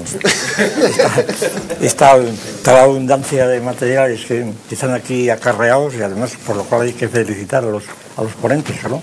Yo, yo, creo que ese es un modelo de lo que hay que hacer, ¿no? Empezar primero a reunir, a ver de qué hablamos, ¿no? Y lo que pasa es que son tan heterogéneos y tan distintos que es muy difícil, no, se me ocurre. Quizá por decir algo, por, por empezar, pero vamos, muy brevemente, que me da la impresión que aquí se está jugando, se podría ir un poco mm, distribuyendo uno y otro, ¿no? Que, aquí algo de lo que, de, lo que todo el mundo está hablando es de, todos y partes. Bueno, en el caso de, la, de Cayetano es clarísimo, ¿no? O de Aristóteles, claro, las especies de género. Lo que pasa es que en el caso de en el caso de en el caso del Cristo de verdad que es lo mismo, ¿verdad? En la, la cornada de Ángel González. ¿Eh? que, por otra parte también a mí me, llama siempre la atención de, la audacia que tiene que tener un poeta como Ángel González para decir esta serie de estupideces. las cosas muy, pero vamos, esto es una cosa puramente subjetiva, pero vamos. Eh, porque claro, la, asociación de, de, los clavos de Cristo con la cornada es tan extravagante que puede, puede decirlo muy bien, la libertad abierto. Quiero decir lo siguiente, que, que aquí la, la, y en este caso la coronada, claro, pues es, una parte, lo que pasa es que en el caso de, de Cayetano, los todos de que se hablan son todos porfirianos, son, todos distributivos, son totalidades distributivas, universales, no en el sentido escolástico. Y, los todos distributivos, pues difícilmente creo que pueden, que pueden dar lugar a, una construcción científica. Es decir, la, crítica famosa a la, gravitación de Newton por acción a distancia es eso, porque la acción tiene que, no tiene que ser a distancia, tiene que ser por contacto. Es decir, tiene que ser todos atributivos, por tanto, por contacto, y entonces el, contacto es lo que es difícil de establecer. Y en, el caso de uno de los grandes méritos que se dieron a la teoría de Einstein de la relatividad fue, fue esto, que había sustituido la acción a distancia por contacto. Eh, por la deformación del espacio, etcétera. Pero también eso es un modo de hablar. Y entonces, pues según esto, habría que podría seguir el análisis, pues diciendo que hay muchas, que, las metáforas pueden también clasificarse de este modo. Y yo me estoy acordando de una metáfora que hemos analizado muchas veces. Bueno, dos metáforas, hemos hablado aquí incluso algunas veces. Una que me parece que es de Aristóteles, que aquella analogía, pues vamos a ver, la copa, la copa es a Dionisos como, como el escudo es a Ares. De, ahí se puede, se puede sacar inmediatamente, luego, luego la copa es el escudo de, de, Ares, etcétera. Se puede sacar, despejar un término, vamos. El otro es un, una metáfora famosísima de, Pigmea, del dios cazador. Es decir, el dios cazador, yo creo que este, este, este, esta metáfora es muy interesante porque por lo menos permite discriminar muy bien una cosa y la otra. Es decir, el dios cazador, mm, un, mito muy estudiado ¿verdad? Por, por, los antropólogos, pues los pigmeos, por lo visto, cuando hay una tormenta con rayos y truenos y el arco iris, el arco iris es el arco del dios cazador que, eh, que tira flechas que son los rayos. Y entonces hay un dios cazador que, y claro, esto es una analogía, completamente una metáfora. Y además esto tiene mucha importancia por toda la, organización religiosa de, las tribus estas. Claro, aquí la, la, analogía, en el caso de, la metáfora del dios cazador, a mí me parece bastante clara a diferencia de la otra, porque en la otra están las, proporciones están dadas, dioses y sus atributos característicos están ya dados previamente y luego se establece una analogía. Es el caso más parecido a esto que decía Íñigo de la, geometría, de la aritmética, que es de donde viene la palabra analogía, ¿no? El logos es la relación, la razón, todavía llamamos hoy razón, razón, y, la analogía es la proporción de dos razones. Si 8 es a 4 como como 20 es a 10, por ejemplo, ¿no? O 8, bueno, bien. Es decir, que hay una, hay una analogía porque la relación es la misma, aunque sea distinta. Bien. En el caso de, de, de, analogía de Aristóteles es lo mismo, aunque no sea con números, sino con atributos. Digamos, la relación es la misma. Ahora, en el caso del dios cazador, no, porque no están dados los términos. Es decir, lo que, y eso es un criterio, creo, muy, muy firme para distinguir lo que es un mito de lo que no es. En el caso de. Y esto mismo pasa con el demiurgo. Es decir, la, porque claro, lo del dios cazador es una especie de demiurgo, de que, tira bien. El, para, que, para que funcione la metáfora del dios cazador, Pigmeo, pues hace falta inventarse un dios cazador. Es decir, si no hay dios cazador, no es metáfora que vale porque falta el término. Lo mismo cuando se habla del demiurgo. Eh, eh, prácticamente yo creo que hay consenso general que, las, hipótesis del demiurgo, de, los demiurgos platónicos o de los que sean, pues que son una elaboración de los demiurgos, que son los trabajadores, los obreros que hacen una cabaña, lo que sea, ¿no? Entonces, así como la cabaña la hace un individuo o varios, pues así el, mundo lo hacen otros demiurgos. Pero claro, aquí, lo que, aquí no hay analogía porque es el demiurgo que hay que inventar, hay que introducir la dos. Y entonces, en un caso, la analogía sale de los términos previamente dados y aquí es al revés. Aquí, aquí eh, uno de los términos sale de la analogía supuesta. Y entonces eso es un criterio claro, yo creo, para diferenciar lo que es un pensamiento, vamos a llamarle puramente metafísico, de lo que no lo es. Es decir, lo de los demiurgos y lo del dios cazador, yo creo que es un prototipo de pensamiento salvaje, por decirlo así. De pensamiento completamente salvaje precisamente por esto. Y en otro caso no. Pues no sé. Esto me, recuerda a la, metáfora de la que he hablado antes de Lakoff y Johnson sobre la mente, ellos hablan de la mente. Interpretada de este modo, claro, si la, si la mente o el espíritu es un término inexistente para el materialismo, lo, interesante entonces es decir que, que, efectivamente comprender algo es cogerlo, pero porque lo es, no, no porque sea metafórico, sino porque... Sí, sí, A mí lo que también me extraña es como la toda esta gente siguen hablando de la mente, vamos, es una cosa, después de todas las críticas del behaviorismo y demás, es una cosa increíble, ¿verdad? en ese mismo sentido, la, la definición de metáfora que citó Marcelino es también una definición rural, porque decía, la metáfora es el, cerebro del lenguaje creativo. Bueno, sí, eso, ya es. El lenguaje pudiera tener un cerebro, cuando en realidad es al contrario. Ese es un, ese es un, cretino el que has dicho eso. Es un cretino. Yo no quiero que tenga más crítica. Sí, por favor. Yo quería hacer una... un momento, un segundo, por favor, el micrófono, porque... Ángel López es el siguiente ponente. Gracias. Sí, yo quería hacer un par de puntualizaciones. Eh, la primera, eh, que marca un poco las, otras dos eh, observaciones que voy a hacer, es que eh, quiero que eh, sean conscientes de hasta qué punto los lingüistas en general ven la filosofía como algo muy lejano. quiero decir que los lingüistas no saben filosofía y no se plantean normalmente nunca cuestiones filosóficas.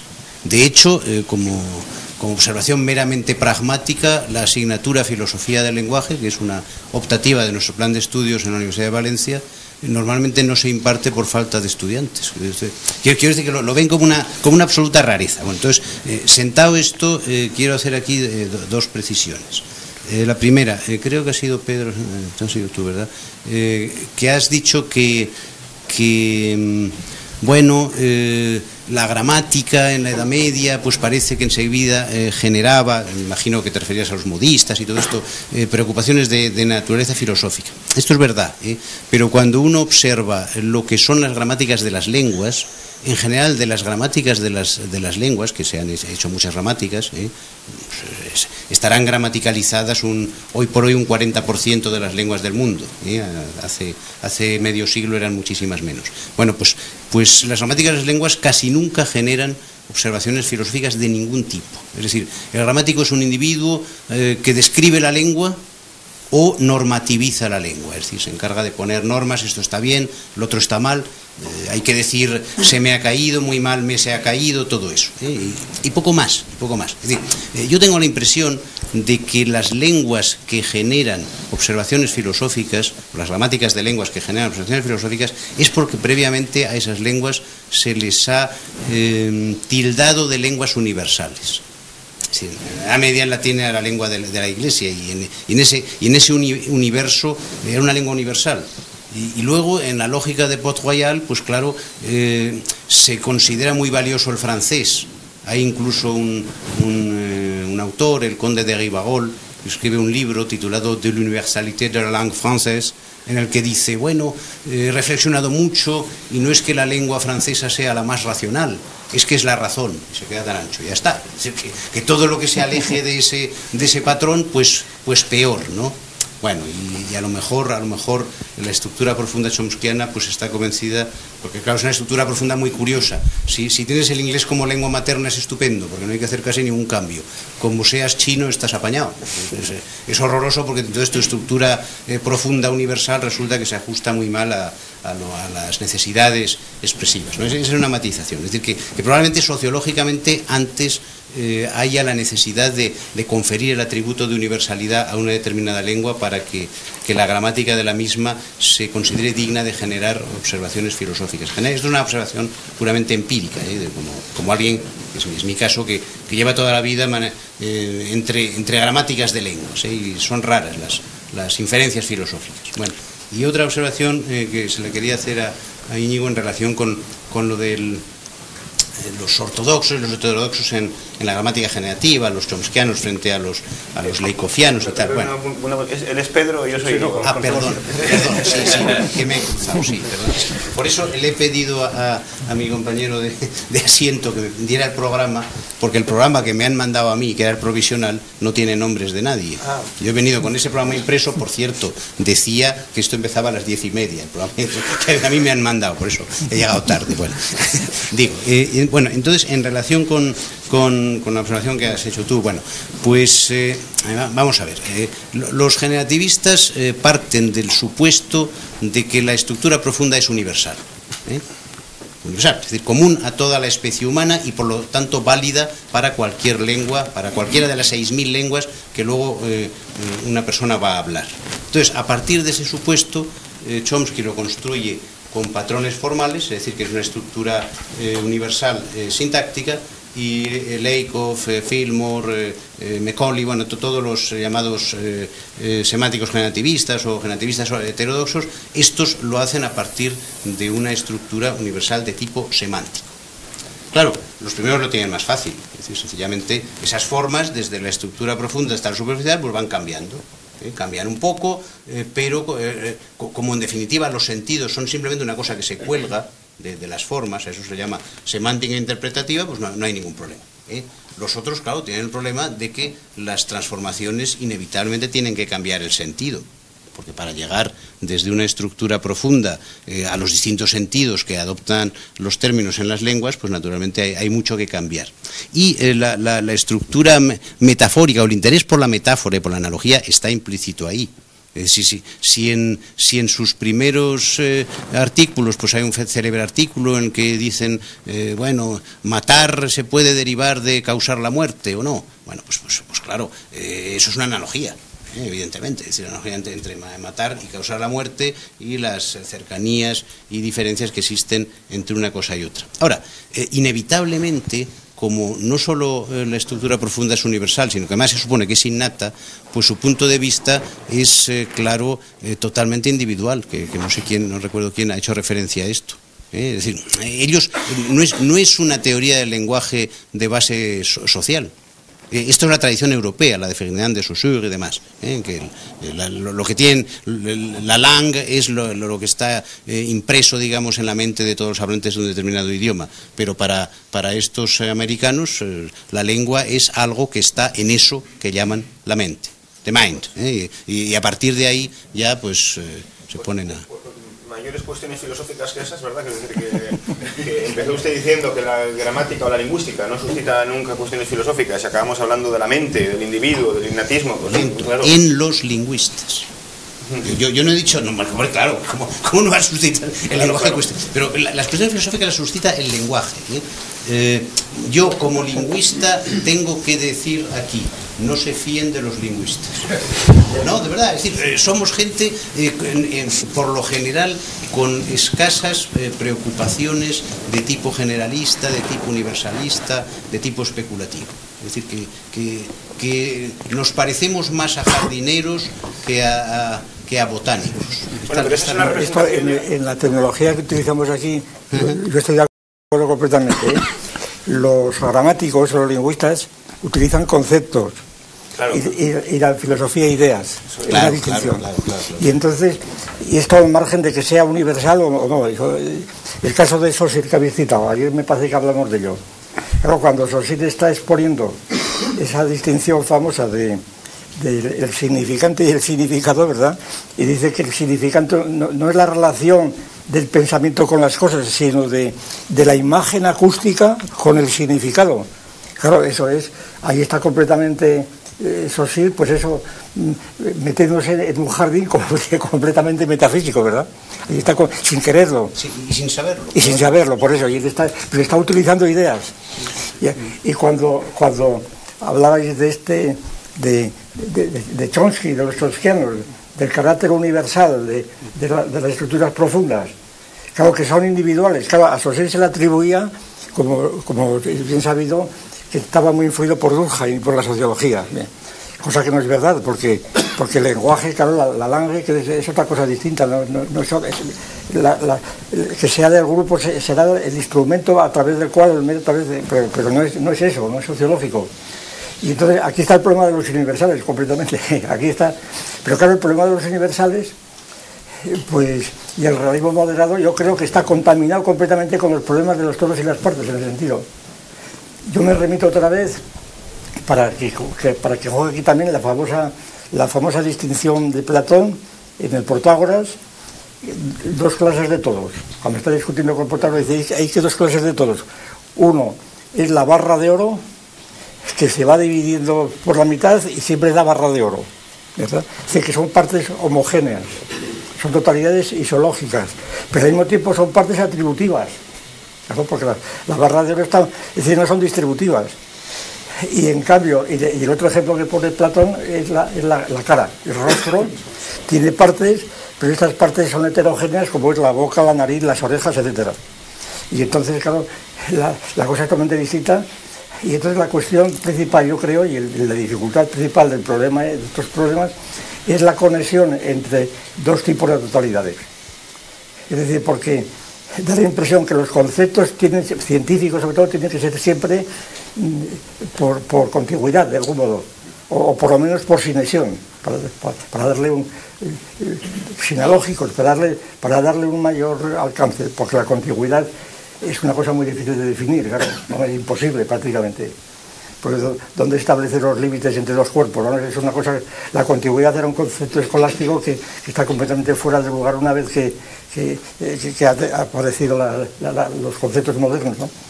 Entonces yo creo, para terminar, que, que la, la, cuestión está en que los gramáticos efectivamente no tienen por qué, además, en cuanto a científicos o pretendientes, no, no tienen por qué saber filosofía. La filosofía está de más.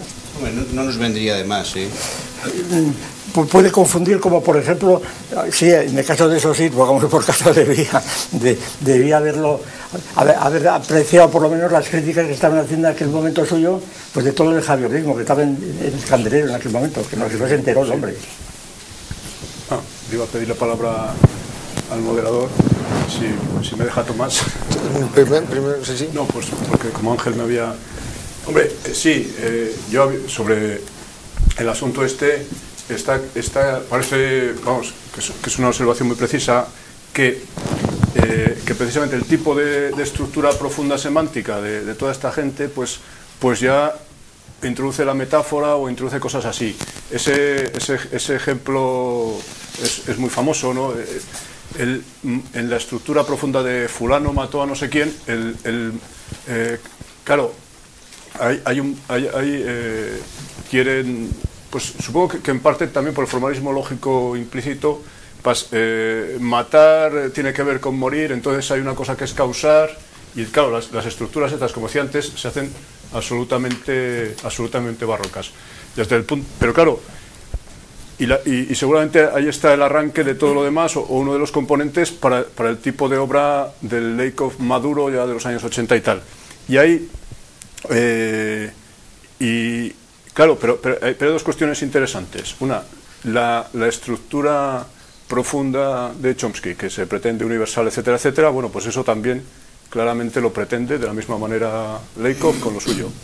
Y hay otra cuestión también, un poco de, pas, de, pasada, que, sobre el asunto este de las partes y los todos, que la misma dinámica de la, evolución de la semántica cognitiva lleva a, a, comprobar esto, por el procedimiento de que, procedimiento, digamos, de, filólogo, de observar las palabras utilizadas, pero bueno, también, también lo que hay, ¿no? los conceptos. Eh, eh, desde los años 90, la, en el estudio de los semánticos cognitivos, la metonimia, utiliza el término tradicional, pero incluyendo la noción de sinécdoque, o sea, muchas veces son sinécdoques y otras son metonimias. La sinécdoque es una relación parte-todo, fuera atributiva o distributiva, generalmente atributiva, o una relación de contigüidad o algo así, pues eh, ha mucho más lugar en los estudios eh, de los semánticos cognitivos, con, en detrimento de la metáfora.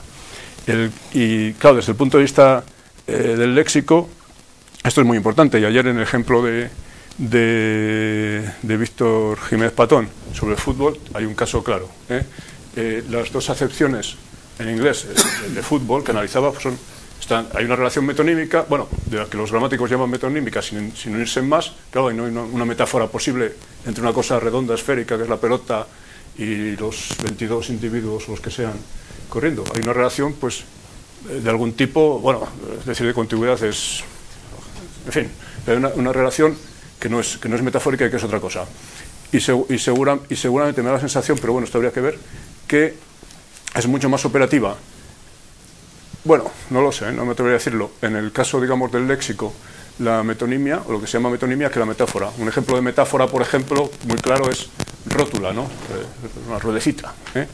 Pero hay muchos otros que son eh, metonimias, hasta el punto de que se dan estos dobletes entre, eh, entre eh, metonímicos o de algún tipo, que no es metafórico desde luego, y también en términos que tienen dos significados. Por ejemplo, en el caso de en los casos que he planteado de los sentidos de etimología del mismo visto, de la palabra etimología, incluyendo etimología como ciencia de, de los orígenes de las palabras, esas relaciones son de ese tipo y, yo creo que, esa, parte de la dinámica que ha seguido la semántica cognitiva pone de manifiesto precisamente la necesidad de atender a, lo que pasa con todos que, son de carácter atributivo, y no son... Eh, eh, y eso, vamos, es muy interesante. Desde luego la, producción en los últimos tiempos de mucha gente que se dedica a esto se basa en, vamos, se basa, se dedica a lo que se llama metonimia, eliminando ciertas distinciones de la retórica tradicional, como decía la que por ejemplo, frente a la metonimia, y, eh, y, claro, con una redescubriendo muchas veces cosas que los, eh, que los lexicógrafos pues ya tenían claras. Sí. Mi, primera intención era sencillamente hacer tres preguntas muy puntuales a los... Pero lo que he escuchado a continuación pues me, sugiere lo siguiente. Yo quiero hoy precisamente romper una lanza en favor de, ciertos lingüistas. ¿eh? Mm, cosa que no hice ayer, ¿verdad? Y, sino, sino todo lo contrario. Vamos a ver. Empezar por ahí y luego inmediatamente las tres preguntas puntuales, ¿no? Mm, se ha dicho aquí que creo que, se ha despreciado a, ciertos a cierto a los lingüistas porque no tienen bagaje filosófico y inmediatamente han gustado dicho bueno es que eh, no, no tienen por qué tenerlo es decir que zapatero a, tus zapatos es decir que los, los gramáticos pues lo que tienen que hacer es eso un, sistema explicarlo adecuadamente con los instrumentos que eh, que puedan pues el sistema vocálico consonántico las sílabas etcétera las combinaciones etcétera no lo que sí es reprobable es aquellos lingüistas que tienen una filosofía débil, mala, y se aferran a ella y no la quieren soltar, aunque escuchen otras filosofías más potentes. Este es el ejemplo clarísimo de Crátilo. ¿eh? Platón le intenta convencer y al final le dice, no, yo me quedo con mi filosofía, que es ramplona, pero mm, que es eso, monismo frente a pluralismo, ¿verdad? Pero ese no es el caso de Pedro Santana. Yo quiero romper una lanza eh, en, su favor. Es decir, que siendo lingüista, eh, pues no le hace ascos a, cierta filosofía que él ha, descubierto que tiene, que tiene potencia. Eh, bueno, eso, eso es lo que yo quería decir, ¿no? En una palabra, desde el punto de vista de, de este asunto que se ha suscitado aquí. Por otro lado, yo he sentido admiración por las exposiciones que he oído y cuando don Gustavo ha, puesto aquí sobre la mesa pues lo de la metáfora de, Ares y, y, el escudo, yo enseguida, enseguida me ha venido a la cabeza aquella distinción eh, eh, bueno, aquella introducción que hizo él al libro del pensamiento mágico de Trías, donde analiza usted precisamente esto pues y, y, acaso venga muy, muy oportuno precisamente, pues eso, marcar aquí la, la diferencia entre pues un uso, podríamos decir, eh, mágico antropológico de, la metáfora, un uso noseológico y un uso filosófico, ¿no? Y que, eso me parece que ya quedaría ahí marcado. Y, bueno, y, aprovecho para, decir ahora, a propósito, ya me voy a, Ángel González, que yo tuve una pequeña trifulca en mi instituto porque porque precisamente Ángel González era una de estas personas que, fue invitado al instituto y su invitación pues fue traducida en mi centro, lo, pusieron su fotografía por todo el centro y, como es bien sabido, pues yo he invitado a don Gustavo a, mi centro y, no, no ocurrió lo mismo. Y una vez lo hice saber y bueno, me miraron así como diciendo, ya, pero es que Ángel González, Ángel González, ¿no? Y yo dije, ya, pero, y, don Gustavo, pues don Gustavo. Algunos, algunos compañeros sí que, me lo, sí que me lo admitieron, sobre todo el de matemáticas. ¿eh? ¿Eh?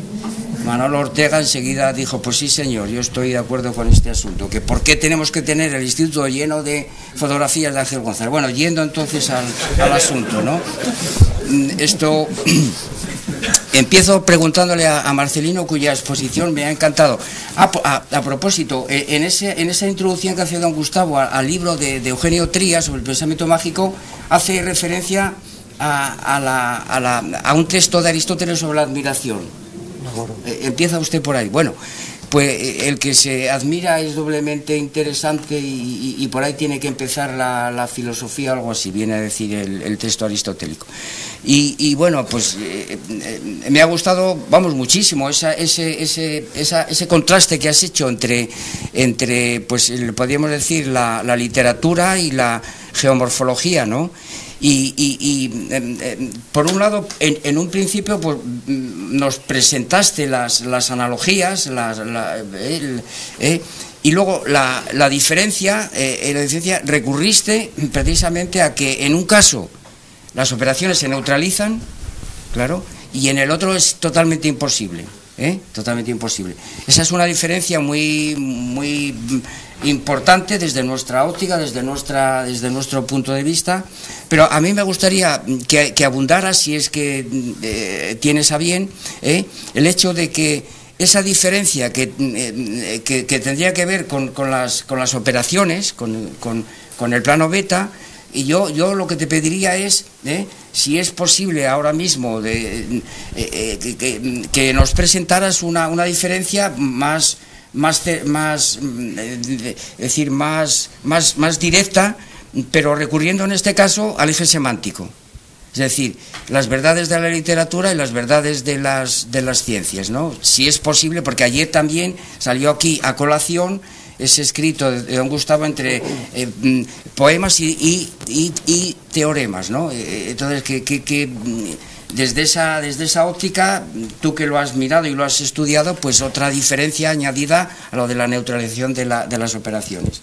Y, ya, entonces, entonces termino. En cuanto a la observación que le quería hacer a, a, Íñigo, si esa, esta exposición que has hecho tú no, no podría eh, mm, eh, eh, reinterpretarse desde eh, el tratado, a, propósito de lo que ha dicho sobre todos distributivos, todos atributivos, su trabajo sobre los conónimos, que, del que ha hablado Marcelino, y cómo se podría reinterpretar desde ahí.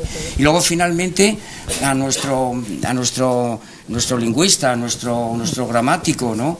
pues mm, eh, como ha hablado de la, de la lingüística cognitiva, si en, estos autores que él ha estudiado, ha manejado y de, que nos ha hablado, si eh, pues en alguno de ellos hay referencias, pues qué sé yo, a, psicólogos tales como, como Piaget, o que, cómo valoran ellos ese tipo de, psicología, o cómo lo han incorporado, o si dicen algo de ello, y, eso es. Es americano.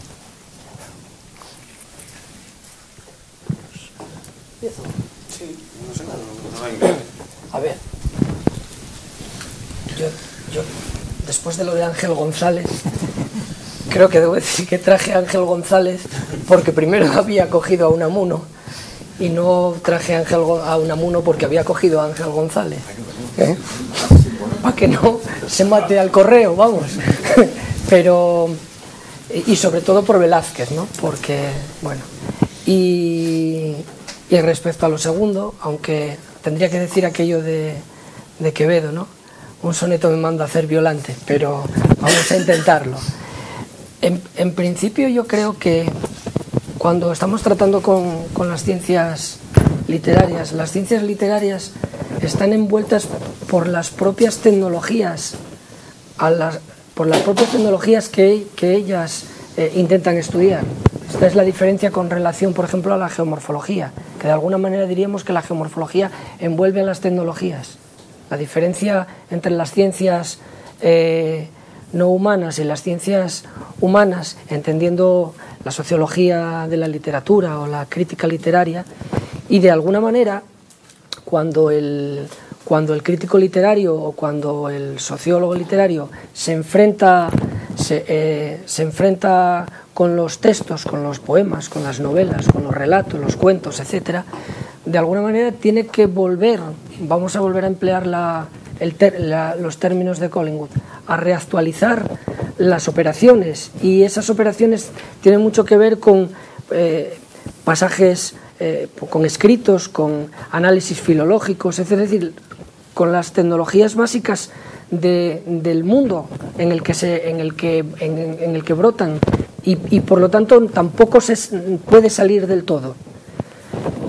Cuando establece una, cuando establece una teoría sobre, sobre literatura, sobre historia de la literatura, cuando estamos analizando pues, la historia de los sonetos, etcétera, si, si el regreso es, un regresus alfa que vaya a, factores de tipo cuantitativo, estos factores de tipo cuantitativo son abstractos y por lo tanto, eh, si no me equivoco en la interpretación, oblicuos con relación a las morfologías específicas con las que tiene que ver con las que se enfrenta él, es decir, con el poeta haciendo los poemas o, como, o, con las morfologías específicas que estudia el sociólogo. Esto de alguna manera pasaría, pasaría lo mismo con la geomorfología estructural, porque los términos de la morfología estructural mm, de alguna manera todavía no son reducciones, son reducciones cuando ya eh, regresamos a, explicaciones, como pasa por ejemplo en el estudio de los paisajes kársticos, cuando vamos a explicaciones de tipo físico-químico y analizamos los componentes calcáreos de las rocas y entonces estamos casi casi en la química.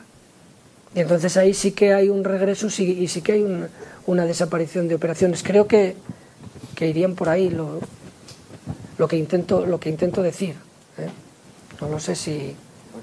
A me gustaría hacer un comentario lo que quiero más, pero antes eh, no me resisto tampoco decir una cosa en relación a, la, intervención de Marcelino que me gusta muchísimo.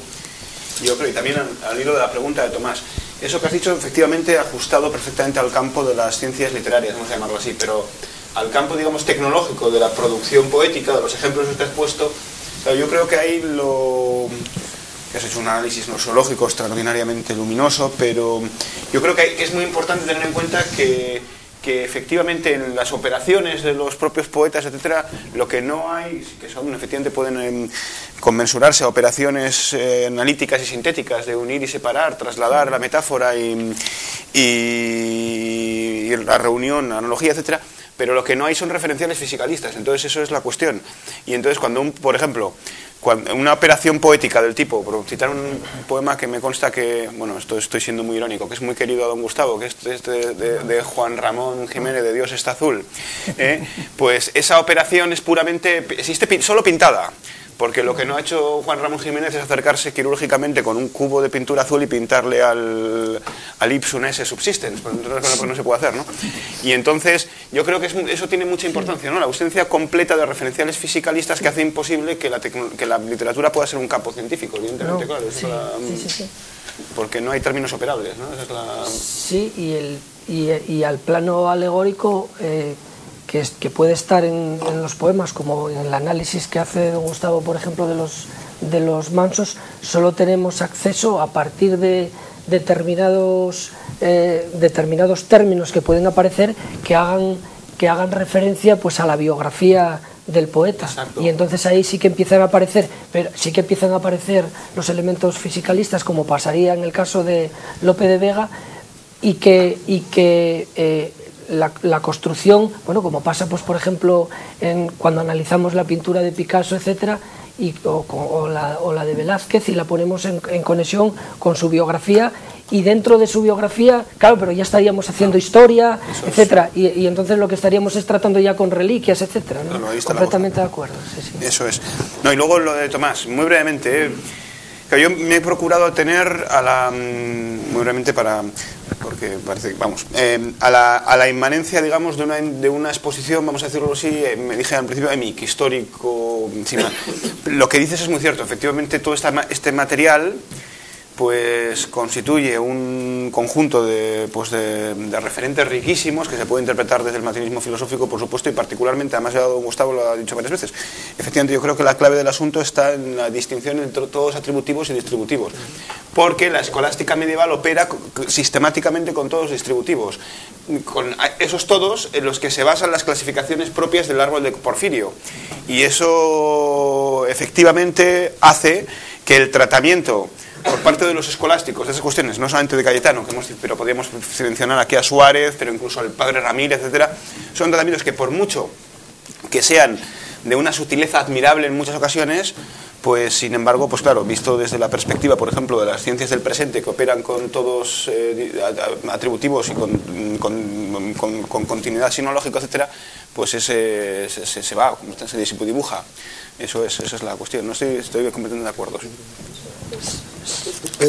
bueno, si es ah, inmediatamente lo de Estoy completamente de acuerdo y esa distinción entre todos atributivos, distributivos, eh, en perspectiva isológica o sinalógica y todos centrados y no centrados, que muy bien hace Evia Echevarría en, en el prólogo, quizás también pueda servir pues como, como instrumental crítico de las propias metáforas que hacen eh, los poetas, claro, es decir, que, que, por lo tanto la crítica literaria, por ejemplo, en el caso de, de Maestro, ¿no? por ejemplo, la crítica literaria pasa por una por una teoría de los todos y las partes y, ya centrándonos incluso en los bueno, significantes y significados también, en el ajuste y en el tipo de, metáforas que están haciendo, ¿no? como el caso de la cornada que se inventa, eh, y entonces ahí veríamos si esa cornada, que, si esa cornada eh, es pertinente o no es pertinente o es traída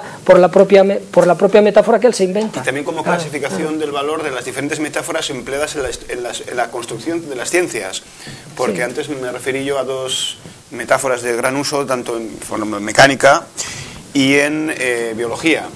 La, atracción gravitatoria y la selección. Bueno, pues esas es mm, tal y como se emplean en la historia de las ciencias estos, estos dos conceptos, pues son dos conceptos metafóricos y más bien yo creo que confusionarios ¿eh? en, en, ambos casos, ¿eh? yo creo, me parece a mí, ¿eh? pero bueno, por razones que sería muy largo aquí de tenernos a analizar, claro. Pues oye, propiamente, bueno, que digas, lingüista, no sé qué, estando Ángel López García, es un ejemplo de antonomasia inadecuadísima, ¿no? Pues citaría otra figura retórica más. Pues sobre lo que me has preguntado, pues habría que verlo, no lo sé. A mí, en, el caso de, de, de Chomsky sí que, el Chomsky antediluviano sí que, pues algo de Piaget y tal. Seguramente, para hacer una interpretación del asunto, eh, claro, si en los años 50, sobre todo, que digamos, que voy a levantarme, me voy a enfrentar aquí al, conductismo, a Skinner y tal, pues claro, eh, otras psicologías podían ser una especie de aliado. Pero estaba mirando ahora, por cierto, en estos libros de Leikov y no se le menciona, por ver, mira por ver si se le mencionaba rápidamente a Piaget y creo que no. Y por dar una interpretación, ya ah, por, decir una cosa en vez de callarme, pues, eh, pues seguramente eh, las, no hay manera de hacer casar la psicología del desarrollo de Piaget con las etapas que, que expone todo esto con el desarrollo lingüístico que sale de la, de la teoría de Chomsky.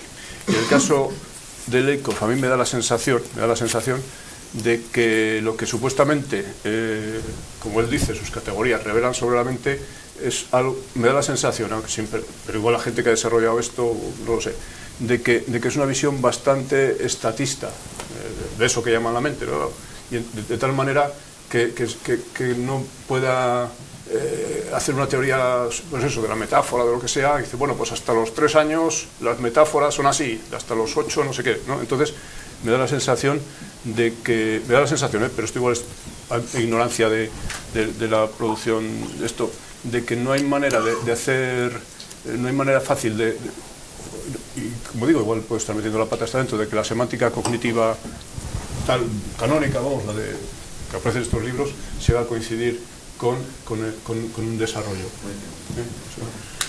Sí, una, palabra simplemente para tratar de conectar eh, todas las tutoriales atributivas y distributivas con la teología y con la lingüística. Muy sencillo, muy sencillo en la formulación. Que se trata de, de la lingüística cartesiana famosa, Claro, porque la, universalidad de, la lingüística cartesiana se funda en, en, la res cogitans, la especie espiritual. Es decir, es un espiritualismo completo. Y a su vez, este espiritualismo cartesiano mm, que interpretaba la conservación del mundo como creación continuada, además claramente se ve esto en el nominalismo mm, humano, es decir, Dios crea nominatin, un alma a cada uno de los individuos. Por tanto, la distribución es total porque es por creación, cada individuo es una creación, que es la tesis de los franciscanos. Es decir, y entonces de, de los franciscanos nominalistas pasa al cartesianismo y, y entonces la universalidad está asegurada por el espíritu.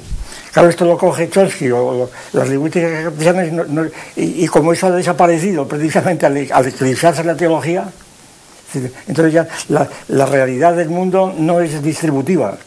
Y entonces, ¿qué tiene que ver una cosa con la otra? Quiere decir que, que aquí está el asunto principal, yo creo, en cuanto históricamente. Es decir, que, que, hablar de cartesianismo por parte de Chomsky me parece de, un, de despiste descomunal. Porque el, eh, eh, y, y otro, otro término medio que tantas veces lo hemos citado aquí es el Gómez Pereira. Claro, sabemos que Descartes, Descartes hace su sistema del espiritualismo sobre la teoría del, del automatismo de las bestias de Gómez Pereira, que era un cristiano que lo hacía además por razones espirituales. Es decir, la razón de convertir a todos los animales y hombres en cuanto a animales en máquinas es precisamente para no reducir el, el entendimiento a la sensibilidad, en una palabra, y, y salvaguardar el, el espíritu del hombre, las res cógitas. Además, eh, Gómez Pereira estudió en Salamanca con Álvaro de Córdoba, estudió la lógica de nominales, que Claro, era un sí, método sí. que está recién introducido en España, eh, modus parisiensis, digamos, que es decir, que la, la conexión con los franciscanos nominalistas Sí, sí, es obvia, muy y ahí sí, va, sí, sí. va de- va Descartes, efectivamente. Sí, sí, sí. Sin embargo, hoy en día, después de la revolución darwiniana, tal y como la hemos interpretado muchas veces, no solo, digamos, biológica, sino simultáneamente lógica, pues claro, todas estas, mm, estos dilematismos han saltado por los aires, claro, eso es la cuestión. De ahí la importancia de la distinción que tantas veces utilizamos entre los todos porfirianos Y los y, lo- y los plotinianos. Claro. Que, di- distinción desconocida por- por- completamente por los, por los biólogos. La, la de los todos plotinianos es, es son los fila. Y entonces eso es una cosa de Plotino. Y, y- y del emanatismo plotiniano, que, que naturalmente cambia completamente la idea de creación, etcétera, etcétera.